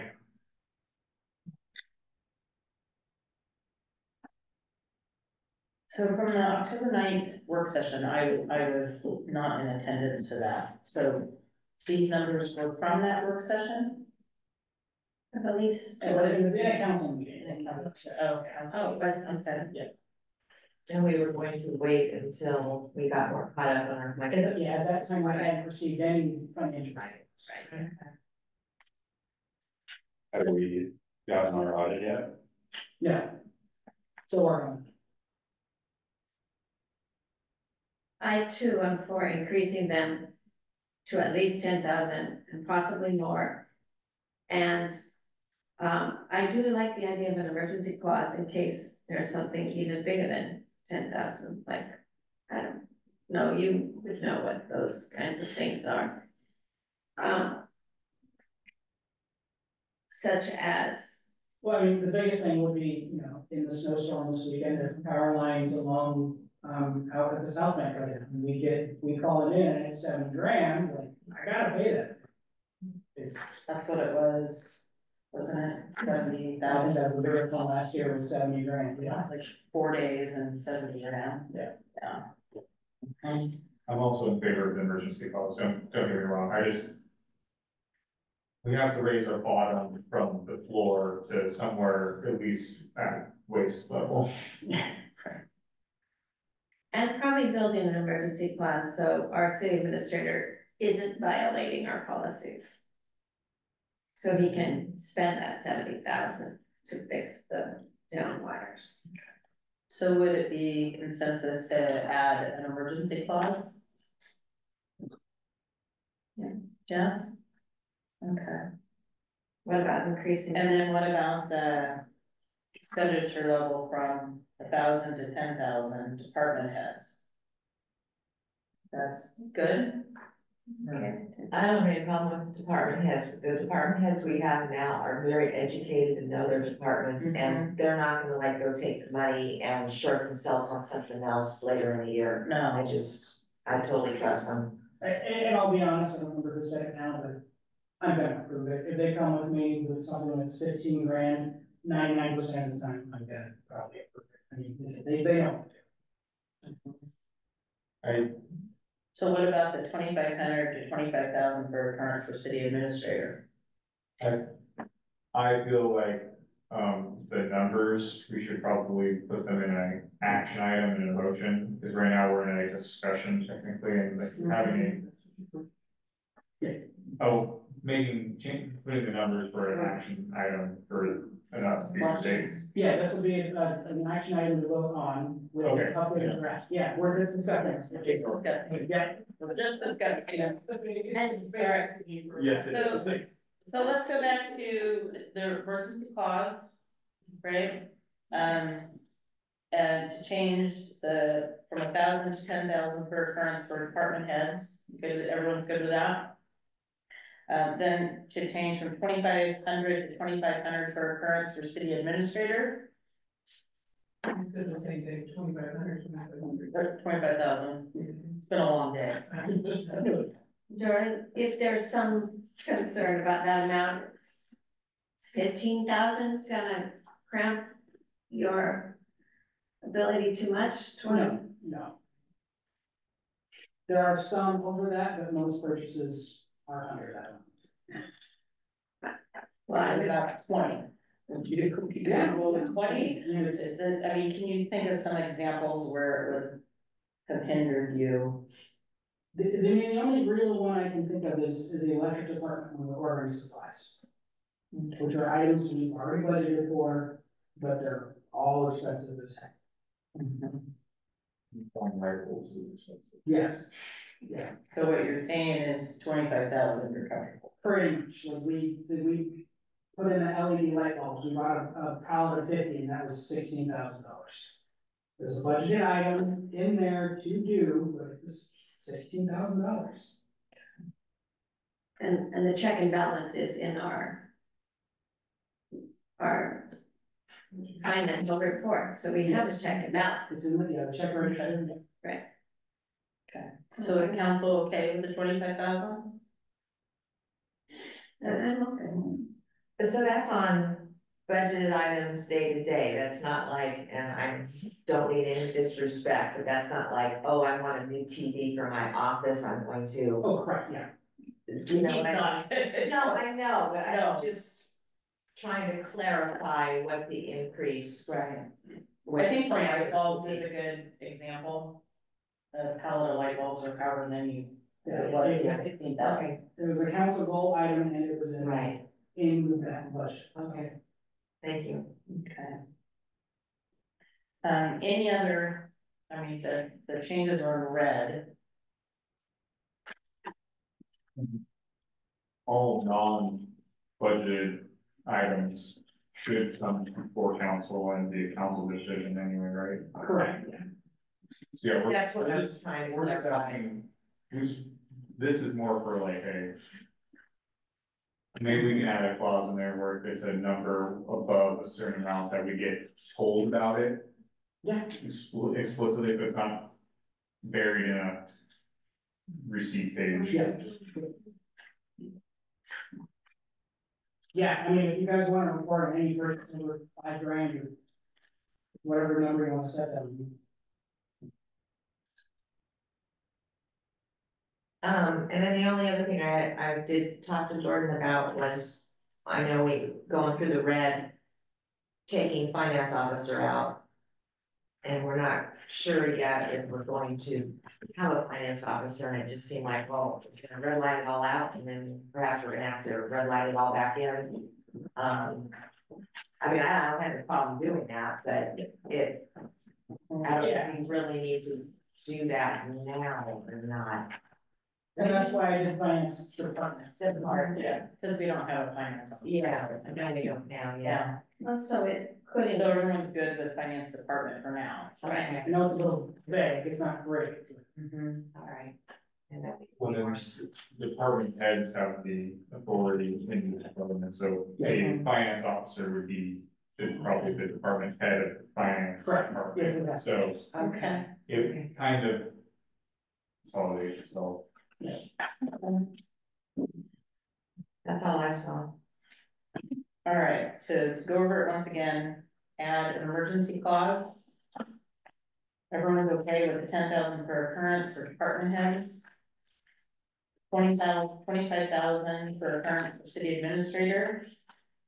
Then what was, there was one more. Um, We had, Okay, Becky Okay. can ask for grants, uh, Yeah. help if he wants to. I would, I would like in there to have like a notification clause of, of amounts more than. Yeah, eight thousand, ten thousand, eight, eight thousand, something high on a department head budget, but not.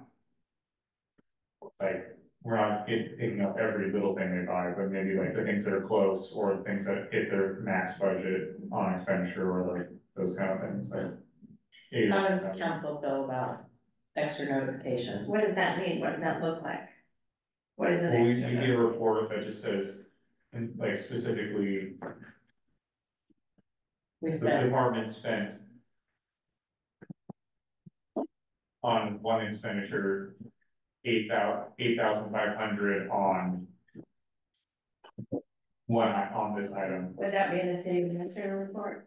Yeah, I just listed in my report, I don't, somebody said now, anything that requires going beyond the department head, but not quite to council's level. So that ten to twenty-five range would just be listed in my report. Thank you, Yeah. I like that. It could be, A second, just like, cause like some of those big things, like if you're not pouring over the receipts page, you might miss them. Okay. And like some of those big ones, it would be nice to know what we spent a large amount of money on. Like a heads up. Yeah, it's- it's just a heads up, it's not necessarily asking for permission, it's just Okay. telling us about the larger Okay. expenditures. Should maybe a line item. Is there, is there any There other, should- There should be one. is there any other, um, comments, questions? council? Does that sound clear as mud, or is it clear? Yeah, more progress than I thought we'd make, to be honest. Alright, well, hallelujah, Are you gonna address the McKenna thing? We did. I think we did. We did. Said, okay, we did. Yeah. Yep, we did. We just added a few. Okay. We got through that.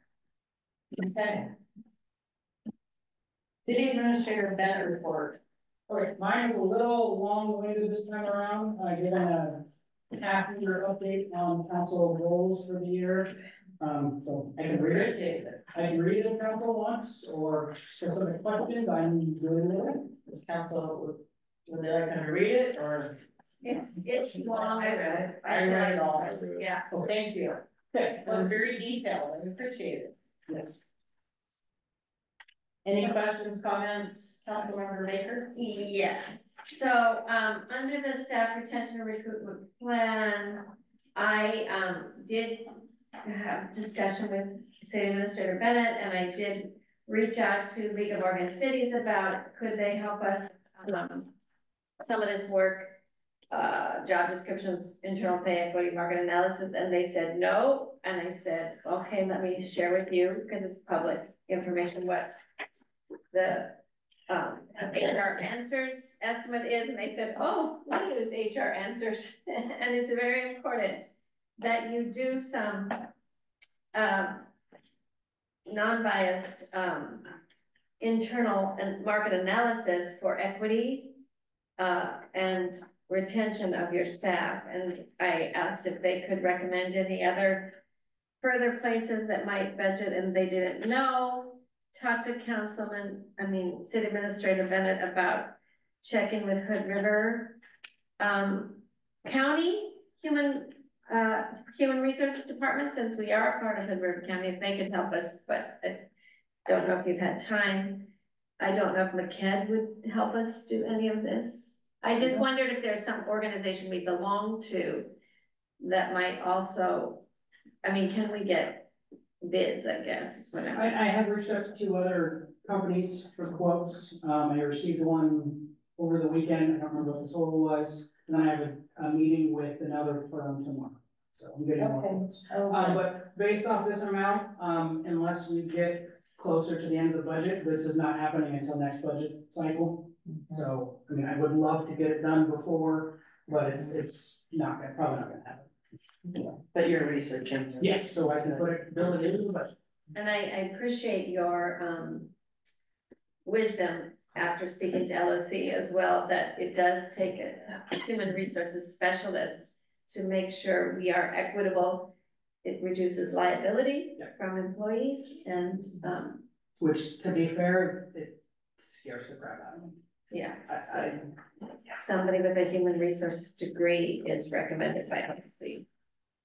So, Then uh, the Windsong Phase Two, the tour. Um. I know you were gonna look into setting up a Oh. tour for council, right? Yeah, I totally spaced that one. I will. Okay. I don't think we wanna do it in January No, it's or February, Yeah, so maybe March? yeah, Is this, um, by March, they really should be done with roads should be put in, I mean, at the point where they're selling lots. I know there, um, I walked out there last weekend on the upper lots for the two or three homes, I think it is, or Yeah. three homes. Um, there is some concern, they've got a rock retaining wall about like this, just the boulders. And then they've graded the dirt this way and with the rain, you can see the big crevices, and so the mud is just washing over the rocks. and it's like a giant lake. They call it Lake Windsong. So I, I, it's a concern, the residents there had a concern about it and I'm not a geotech or anything Yeah, we like have, we that, have our but, engineers and they have their geotech specialists, and they, Okay. they, they do, I don't know if it's weekly, but they do site inspections. Okay. They sign off and approve everything. okay, okay, it looks just shaky. I'm not an engineer, but I'm like, that doesn't look good. They rely on their specialties, yeah. Alright, so is there a way we can communicate to some of those homeowners that like they have all these concerns that, that. Yes, a geotech came out or whatever, engineer, Yeah, I mean, if you wanna talk to them, or they can reach out to me. okay, just Yeah, have them yeah, reach out to just- you, okay. They're the same ones with the fire hydrant. The meter Yeah. thing sticking out, so. Okay. I'll let you know who that is. Alright, and I had the fire program, I just never talked to you. Yeah, and I'll have to check that out tomorrow. Okay. And then do you wanna talk about the America's Phone Guys? Um, yeah, so I got a quote, and to be honest, a little more expensive than I thought it would be. Um, this would allow city council to have uh, a phone system like we have for public works and, um, electric department. You would download, uh, the meeting app on your phone. They would call, the any community member would call the number published. It would show up through your phone as a call through the app, not your regular phone uh, program. And then you would call them back through that app as well, and it would just say City of Cascade Locks. So your personal phone number would not be out to share with the public. And that would be hundred and fifty-six a month for all counselors and mayor. Correct, yep, for all seven with a initial setup fee of four hundred ninety-five. It's a considerably less than having individual phone lines. You know, a different, Yes, so An paying, actual paying phone. for itself, yes. right, I know the port, um, commissioners, they have a port cell phone, but they also received a grant to help get the cell phones and whatnot, we don't have a grant, so. I know it does present challenges to have when you're an elected official and to have your personal number out. And I know, uh, Councilmember Happy, he's, um, off, but I know he has expressed concerns, uh, uh, over a few meetings about having some way for a phone system, so that's why we looked into it too. Okay. Yeah, we can move this to another meeting for an official vote, Okay, but this is just for discussion.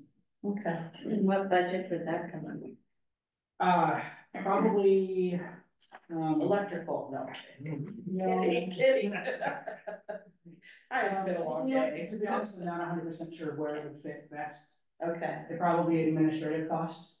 Uh, but I'd have to see exactly which one. okay. All right. Would council be open to further discussion on this and I'm not. know. I don't find it necessary for me, but if someone else is having problems with it, and they can do it. I mean. I mean, my thought is if the constituents would want this to happen, then I'm all for it, and if not, then I think the system as it is is fine, mm-hmm. but at the same time. I don't know what everybody, like. With the city of Cascade constituents as a whole want to be able to call any of us. And then have us return their call, cause it, I mean, cause it would be a return call, it wouldn't be a, I know there's a lot of um cities and their uh, elected officials use some type of phone system to where they they get them off of using their personal phones. no, I agree, like, Yeah. I, I wouldn't wanna use my own phone Mhm. number. And that, like, even better would be your own, like a completely separate phone in case somehow. You We have- accidentally call somebody back with your own phone numbers and you don't have to change Right. numbers, but. That's, that's the sky thing, but at the same time, I don't see a need unless. The people wanna be able to talk to their. elected officials a little easier, I know emailing is one thing, and I'm granted really bad at looking at emails. I, I'm not hundred percent sure how this would affect freedom of information requests and if your phone could be seized for that request. I'm not hundred percent sure. Is there any data saved? I don't know, that's why I, I think it'll all be through the cloud through GoToMeeting, but I'm not hundred percent sure. 'Cause Freedom of information is about written and recorded things, would a phone call under? I think the fact that you, The call log. the call log would, but not necessarily need to have every single conversation recorded. Councilmember Baker? Uh, personally, I, I do find that any communication I do, uh, would be email, I mean, I'm not, my phone number's out there anyway, but, um, but I could see that the mayor could benefit from this, I don't know if there could be lesser, if other people want. Well, I- there has been incidences where, um, there was a couple, um, members of the community who got a hold of my phone number and they literally called me eighteen times one Right. day. And I finally, I, I blocked them, then they got their friend's number and they called me. And I mean, it's times like that, I don't, I would rather not have my, it's my personal phone. So I'd rather not have my personal number. That's why I think the mayor should have your, a separate city phone. Right, and that's just one incident last year. There were a few. Probably less than hundred fifty dollars a month or less. And any counselor who feels that that's a way they wanna communicate. I don't know, or you're right, how do we find out from the constituents? Chief will Um, I may be the, the only city staff that really uses this app. Um, so anything that goes to the app is also on my phone. So when I delete the app, if I delete the app, it's no longer on the phone. It's all saved on my desk phone. And so it rings my work phone through the app that says my desk phone is calling me. And I answer on to the app. And then when I call them back to the app, it says that it's coming from the fire station and not any phone, it just that phone number. And Right, if anybody wants to look at the app, um, I have my phone with me and okay, you can take a look. maybe. I use it all the time. So this is an app and not a phone, so we don't, wouldn't have to be paying for phones.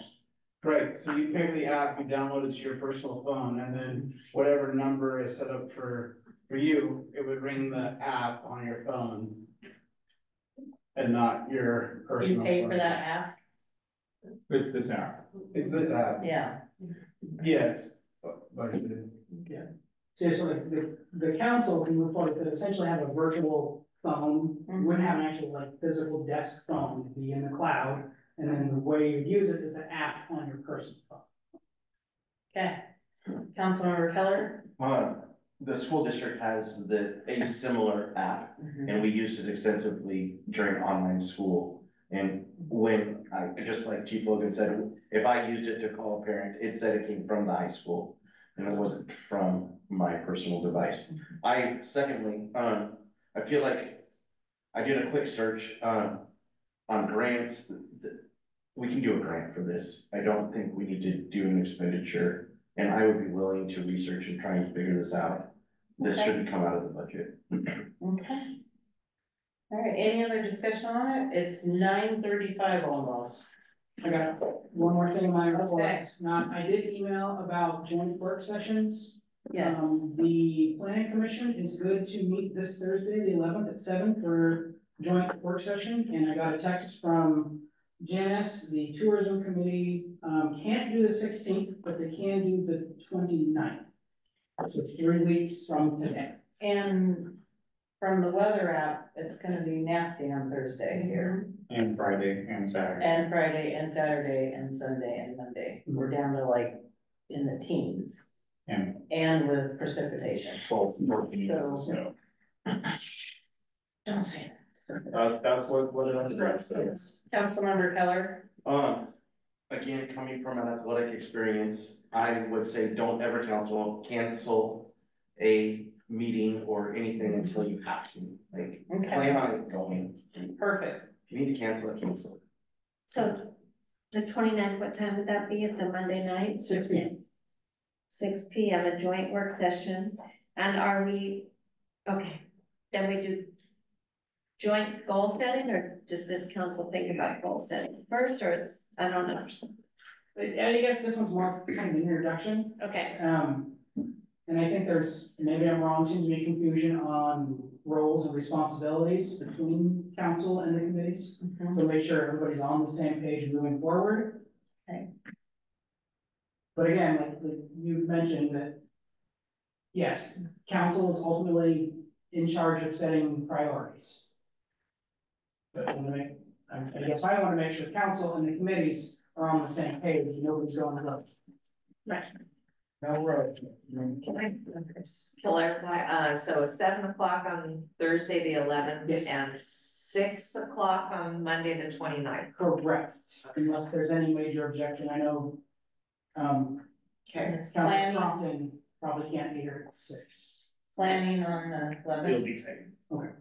right? Yep. And tourism, Yes, both committees are good with those dates. okay, perfect. And we'll be in here, so if the weather's bad, will we try to zoom some folks, or let you know? if Yeah, they're- I mean, it'll, it'll be virtual, yeah, we'll have virtual access, yeah. Just walk.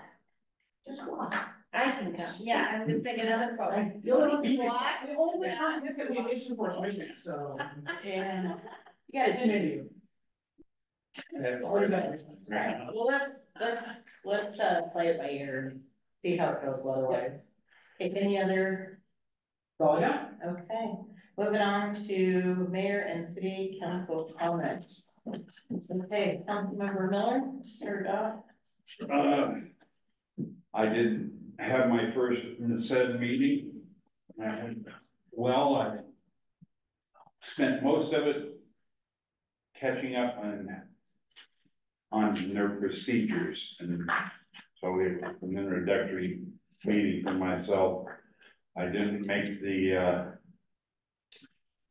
uh uh small cities meeting due to I was in too much pain with my sciatica. But I, I like to thank staff for all their hard work and Dr. Skari and Chair Spear and Director Mattson for being here. John, for your good report. Tiffany and Courtney for your, your appearances here. Thank you all for that.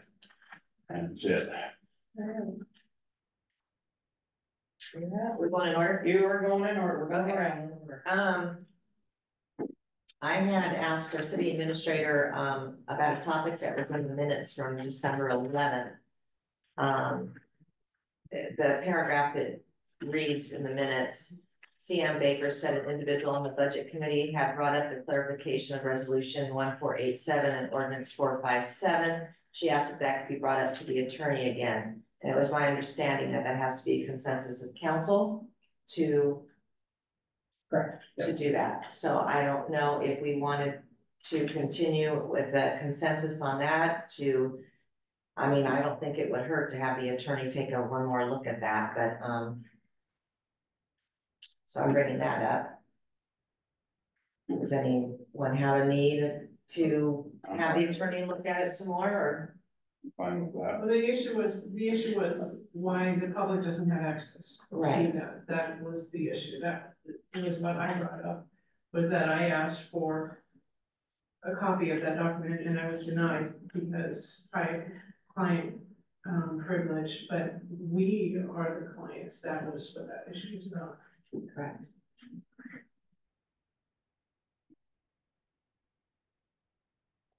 I don't see any reason one way or the other. Well, when I brought it up, I was thinking of a clarification, but if the attorney claims it's client privilege, I don't want to challenge that. I, I don't know. But it He, the attorney said client privilege. I don't wanna challenge him. We'll leave it at that. Okay, I'm the one paying it, I'm the client. yes. Okay. What else comments? um. I forgot what else I was gonna say. Well, I want to thank everyone for their presentations today. I learned some, some good stuff. Um, and then I was just going to add, um, from a personal note that I am taking Dry January to a new level and I'm off Facebook too. So you guys can either, you got my phone numbers and city email, so you can reach me that way if something comes up. That's all I got. I can throw a rock that far. Councilmember Baker. Um, I, as usual, thank you to Mount Hood Community College. I'd like to understand more about our districting and maybe in this next, year I'll look into that. Um, thank you to staff for all that you do. Thank you, Administrator Bennett, for your detailed reports and your uh, flexibility in thinking as we uh, modify the electrical um, work coming toward the port. Um, and thank you everyone for our um discussions about the lobbyist and and hopefully we'll get some good benefit from that and learn how to work with this.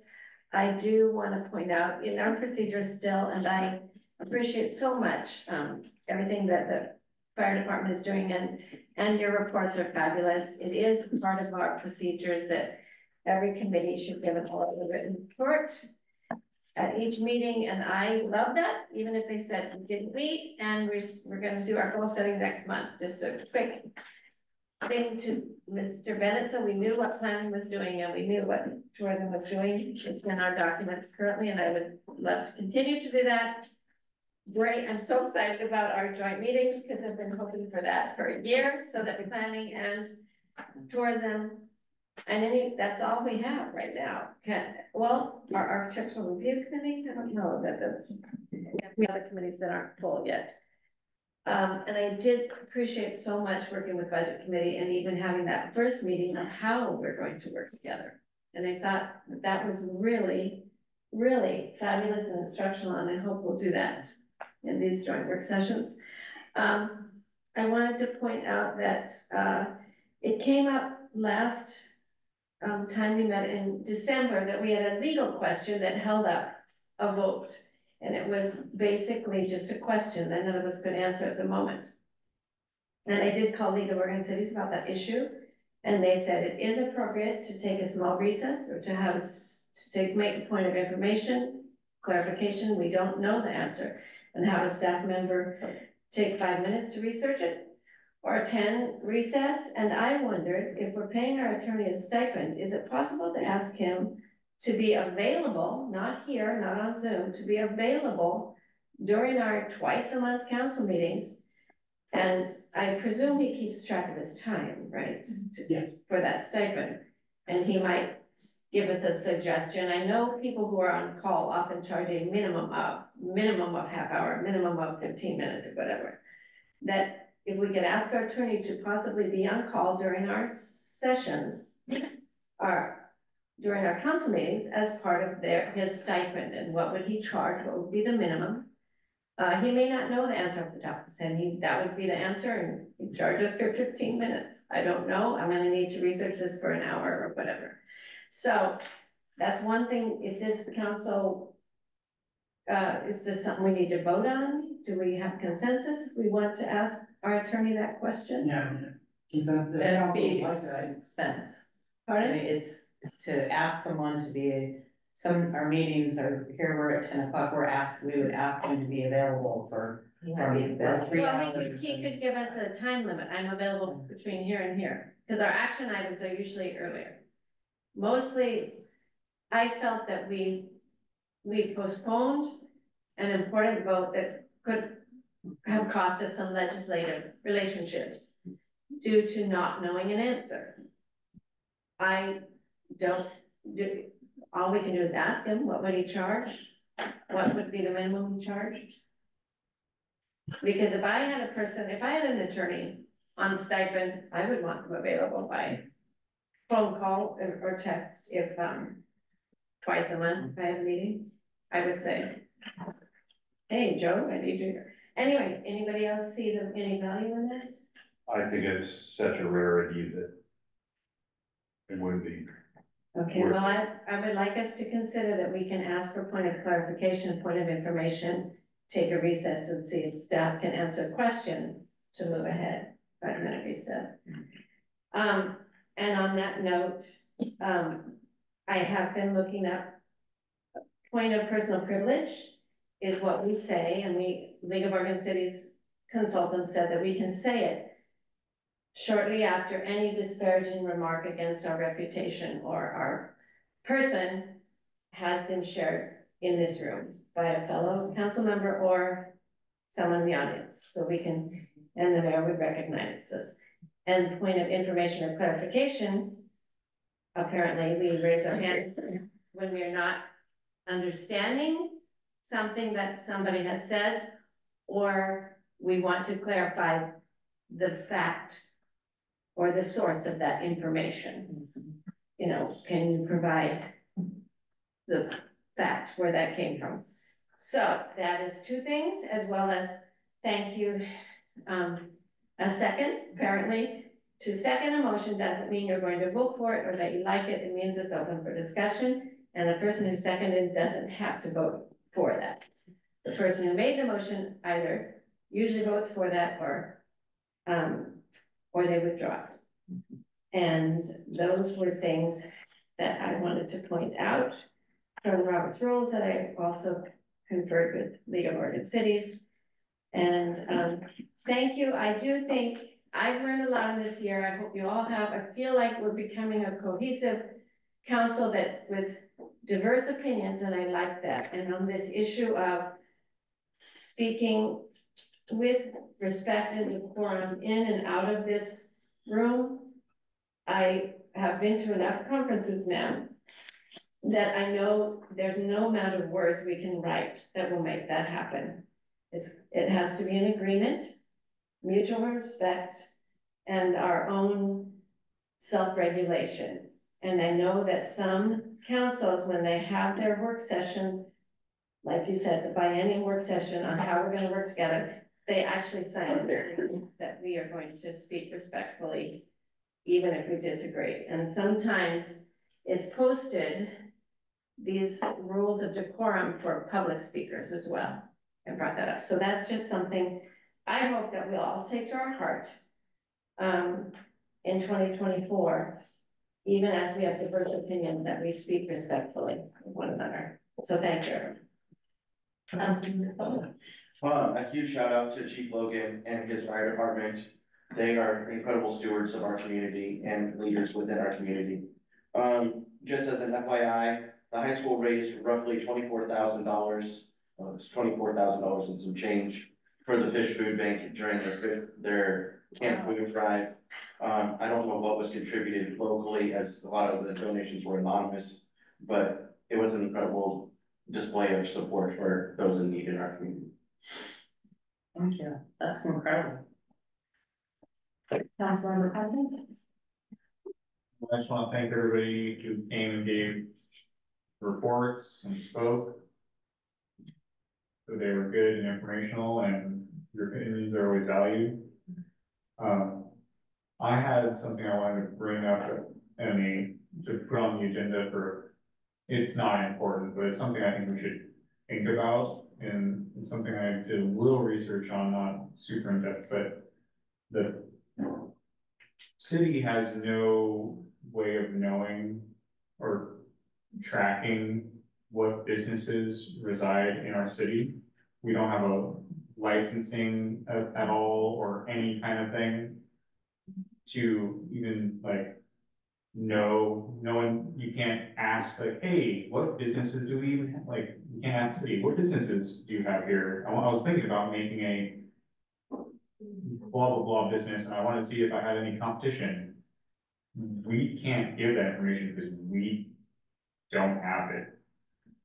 Um, and I was thinking about making it as like a business licensing thing where we give, send out a notice to the public and then make it not expensive or really anything because we're just wanting it more for informational gathering than for like actually like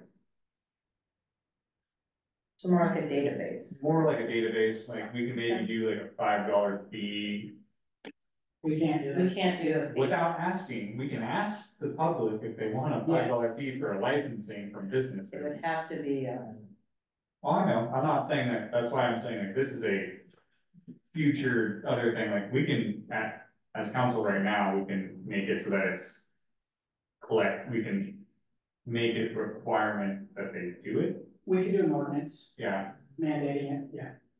So that way we could find out who's doing business in commercial or residential areas when they're not supposed to.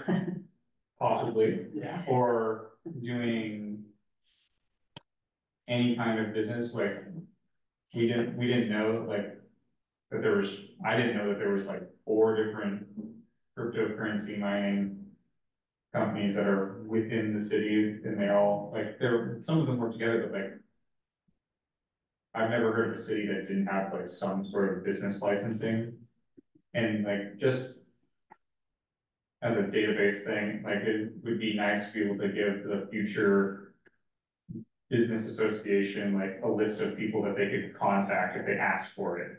Like, oh, we're looking at making a business association. We want to ask the people who own and operate businesses in Cascade Locks, who can I contact? Oh, we don't know. The closest thing we have is our commercial utility accounts. I mean, we can look at it that way, but that's, But that's, that's, I, it doesn't Yeah. quite, like, you can run a business without necessarily triggering a commercial utility. Like, running a internet business out of your home is not necessarily enough to, true. To trigger a commercial utility, because you're not making more expenditure on the utility line, but it could be something, maybe we look at another city who has some, some type of, um, program in place that we could get some ideas. So, but definitely, Yeah. it's- we can talk further about it and, and. Oh, yeah, I just, was- I was, I want, I'm Right. formally asking to put it on a future agenda. I don't know, it doesn't have to be anytime soon, but like, we should talk about it in a work session maybe, or a. Put, make an action item to create an ordinance. Okay. Would you like to look into other cities, research that and see what cities have programs that would be effective? I'm, I'm pretty sure we could look at literally any city. I mean, I have never heard of. Do you city- want, I'm asking Yeah, if you wanna I, research I, that. I'm going to research it a Okay. little bit more, but That'd be it would be good to have more. That would be great, if you could come up with some examples and maybe, um, some cities that have got it down in their system that they have. That would be good. If you want help with that, let me know. I, I think Okay. it's a great idea. Yeah. Thank you. Yeah, I can do the city manager listserv email, okay, just similar size cities that Perfect. really just use it for database collection, not, not a revenue source. Yeah, and okay, uh, it's like, right now, we don't want to promote the revenue, we can't, we can't make it revenue, and we don't really want to. But if the people in the future think that we need to, then there's at least a list out there. right, right. Okay. Anything else? Nope. All right, uh, gosh, uh, first of all, happy new year to everyone. Got through twenty twenty-three, now we're on to twenty twenty-four. Um, thank you to staff as well, Jordan, um, really detailed report, appreciate that. Um, uh, Mountain Community College, thank you to, for them to come out and present. Um, I like that they came out, it, it was an opportunity that maybe we could get some satellite programs out here, so, um, I thought that was really good that they, all three of them came out. Um, Chief Logan, thank you so much, you and your team, your staff, everybody, you just, um, we, we just couldn't do it you. Appreciate all of you and your team so much, thank you. Um, congratulations to all the committee, uh, new committee members, um, welcome aboard. Um, Tess Milio, um, I appreciate her coming and answering questions. Um, Jordan and I did make the small cities meeting, it was very small, there was, it was very, very small, but, um, but it was still good. We, we showed up and we represented and there was, what, two other people there? It wasn't very many. Yeah. Yeah, but it was still positive, and so, um, it- good things came out of that. Um, thank you to Councilmember Pete for, I know he's traveling and it's pretty extensive to get through airports, and so really appreciate him taking the time and being able to jump on and Zoom. Um. What else? And I just, I, I just wanna, um, encourage everyone to, you know, be respectful towards one another and let's get through this. Everyone, we're all volunteers. None of us are getting paid. Um, everyone's, I, I believe, his heart is in the right place. Um, we don't do this for the big bucks. I, I get asked all the time, oh gosh, how much does that pay, mayor? I said, nothing. It doesn't, and neither does city council. So, um, I just really wanna thank each and every one of you also for stepping up and serving your community and I really, really appreciate it, and I know the constituents do as well. And then, um, Jordan, I'm sure we're set for any nasty weather that comes our way here in the next week or so.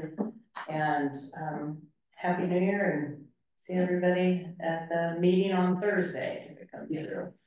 All right, You know, and we need to move to, uh, we need a vote to adjourn, Motion. or motion, excuse me. I motion to adjourn. My second. All right, discussion? Roll call vote. Councilmember Crompton, Aye. Emmeline Baker, aye, Farrell, aye, Cowler, Aye. Miller, Aye. Mayor Bell. Aye. Passes and it's. Happy New Year.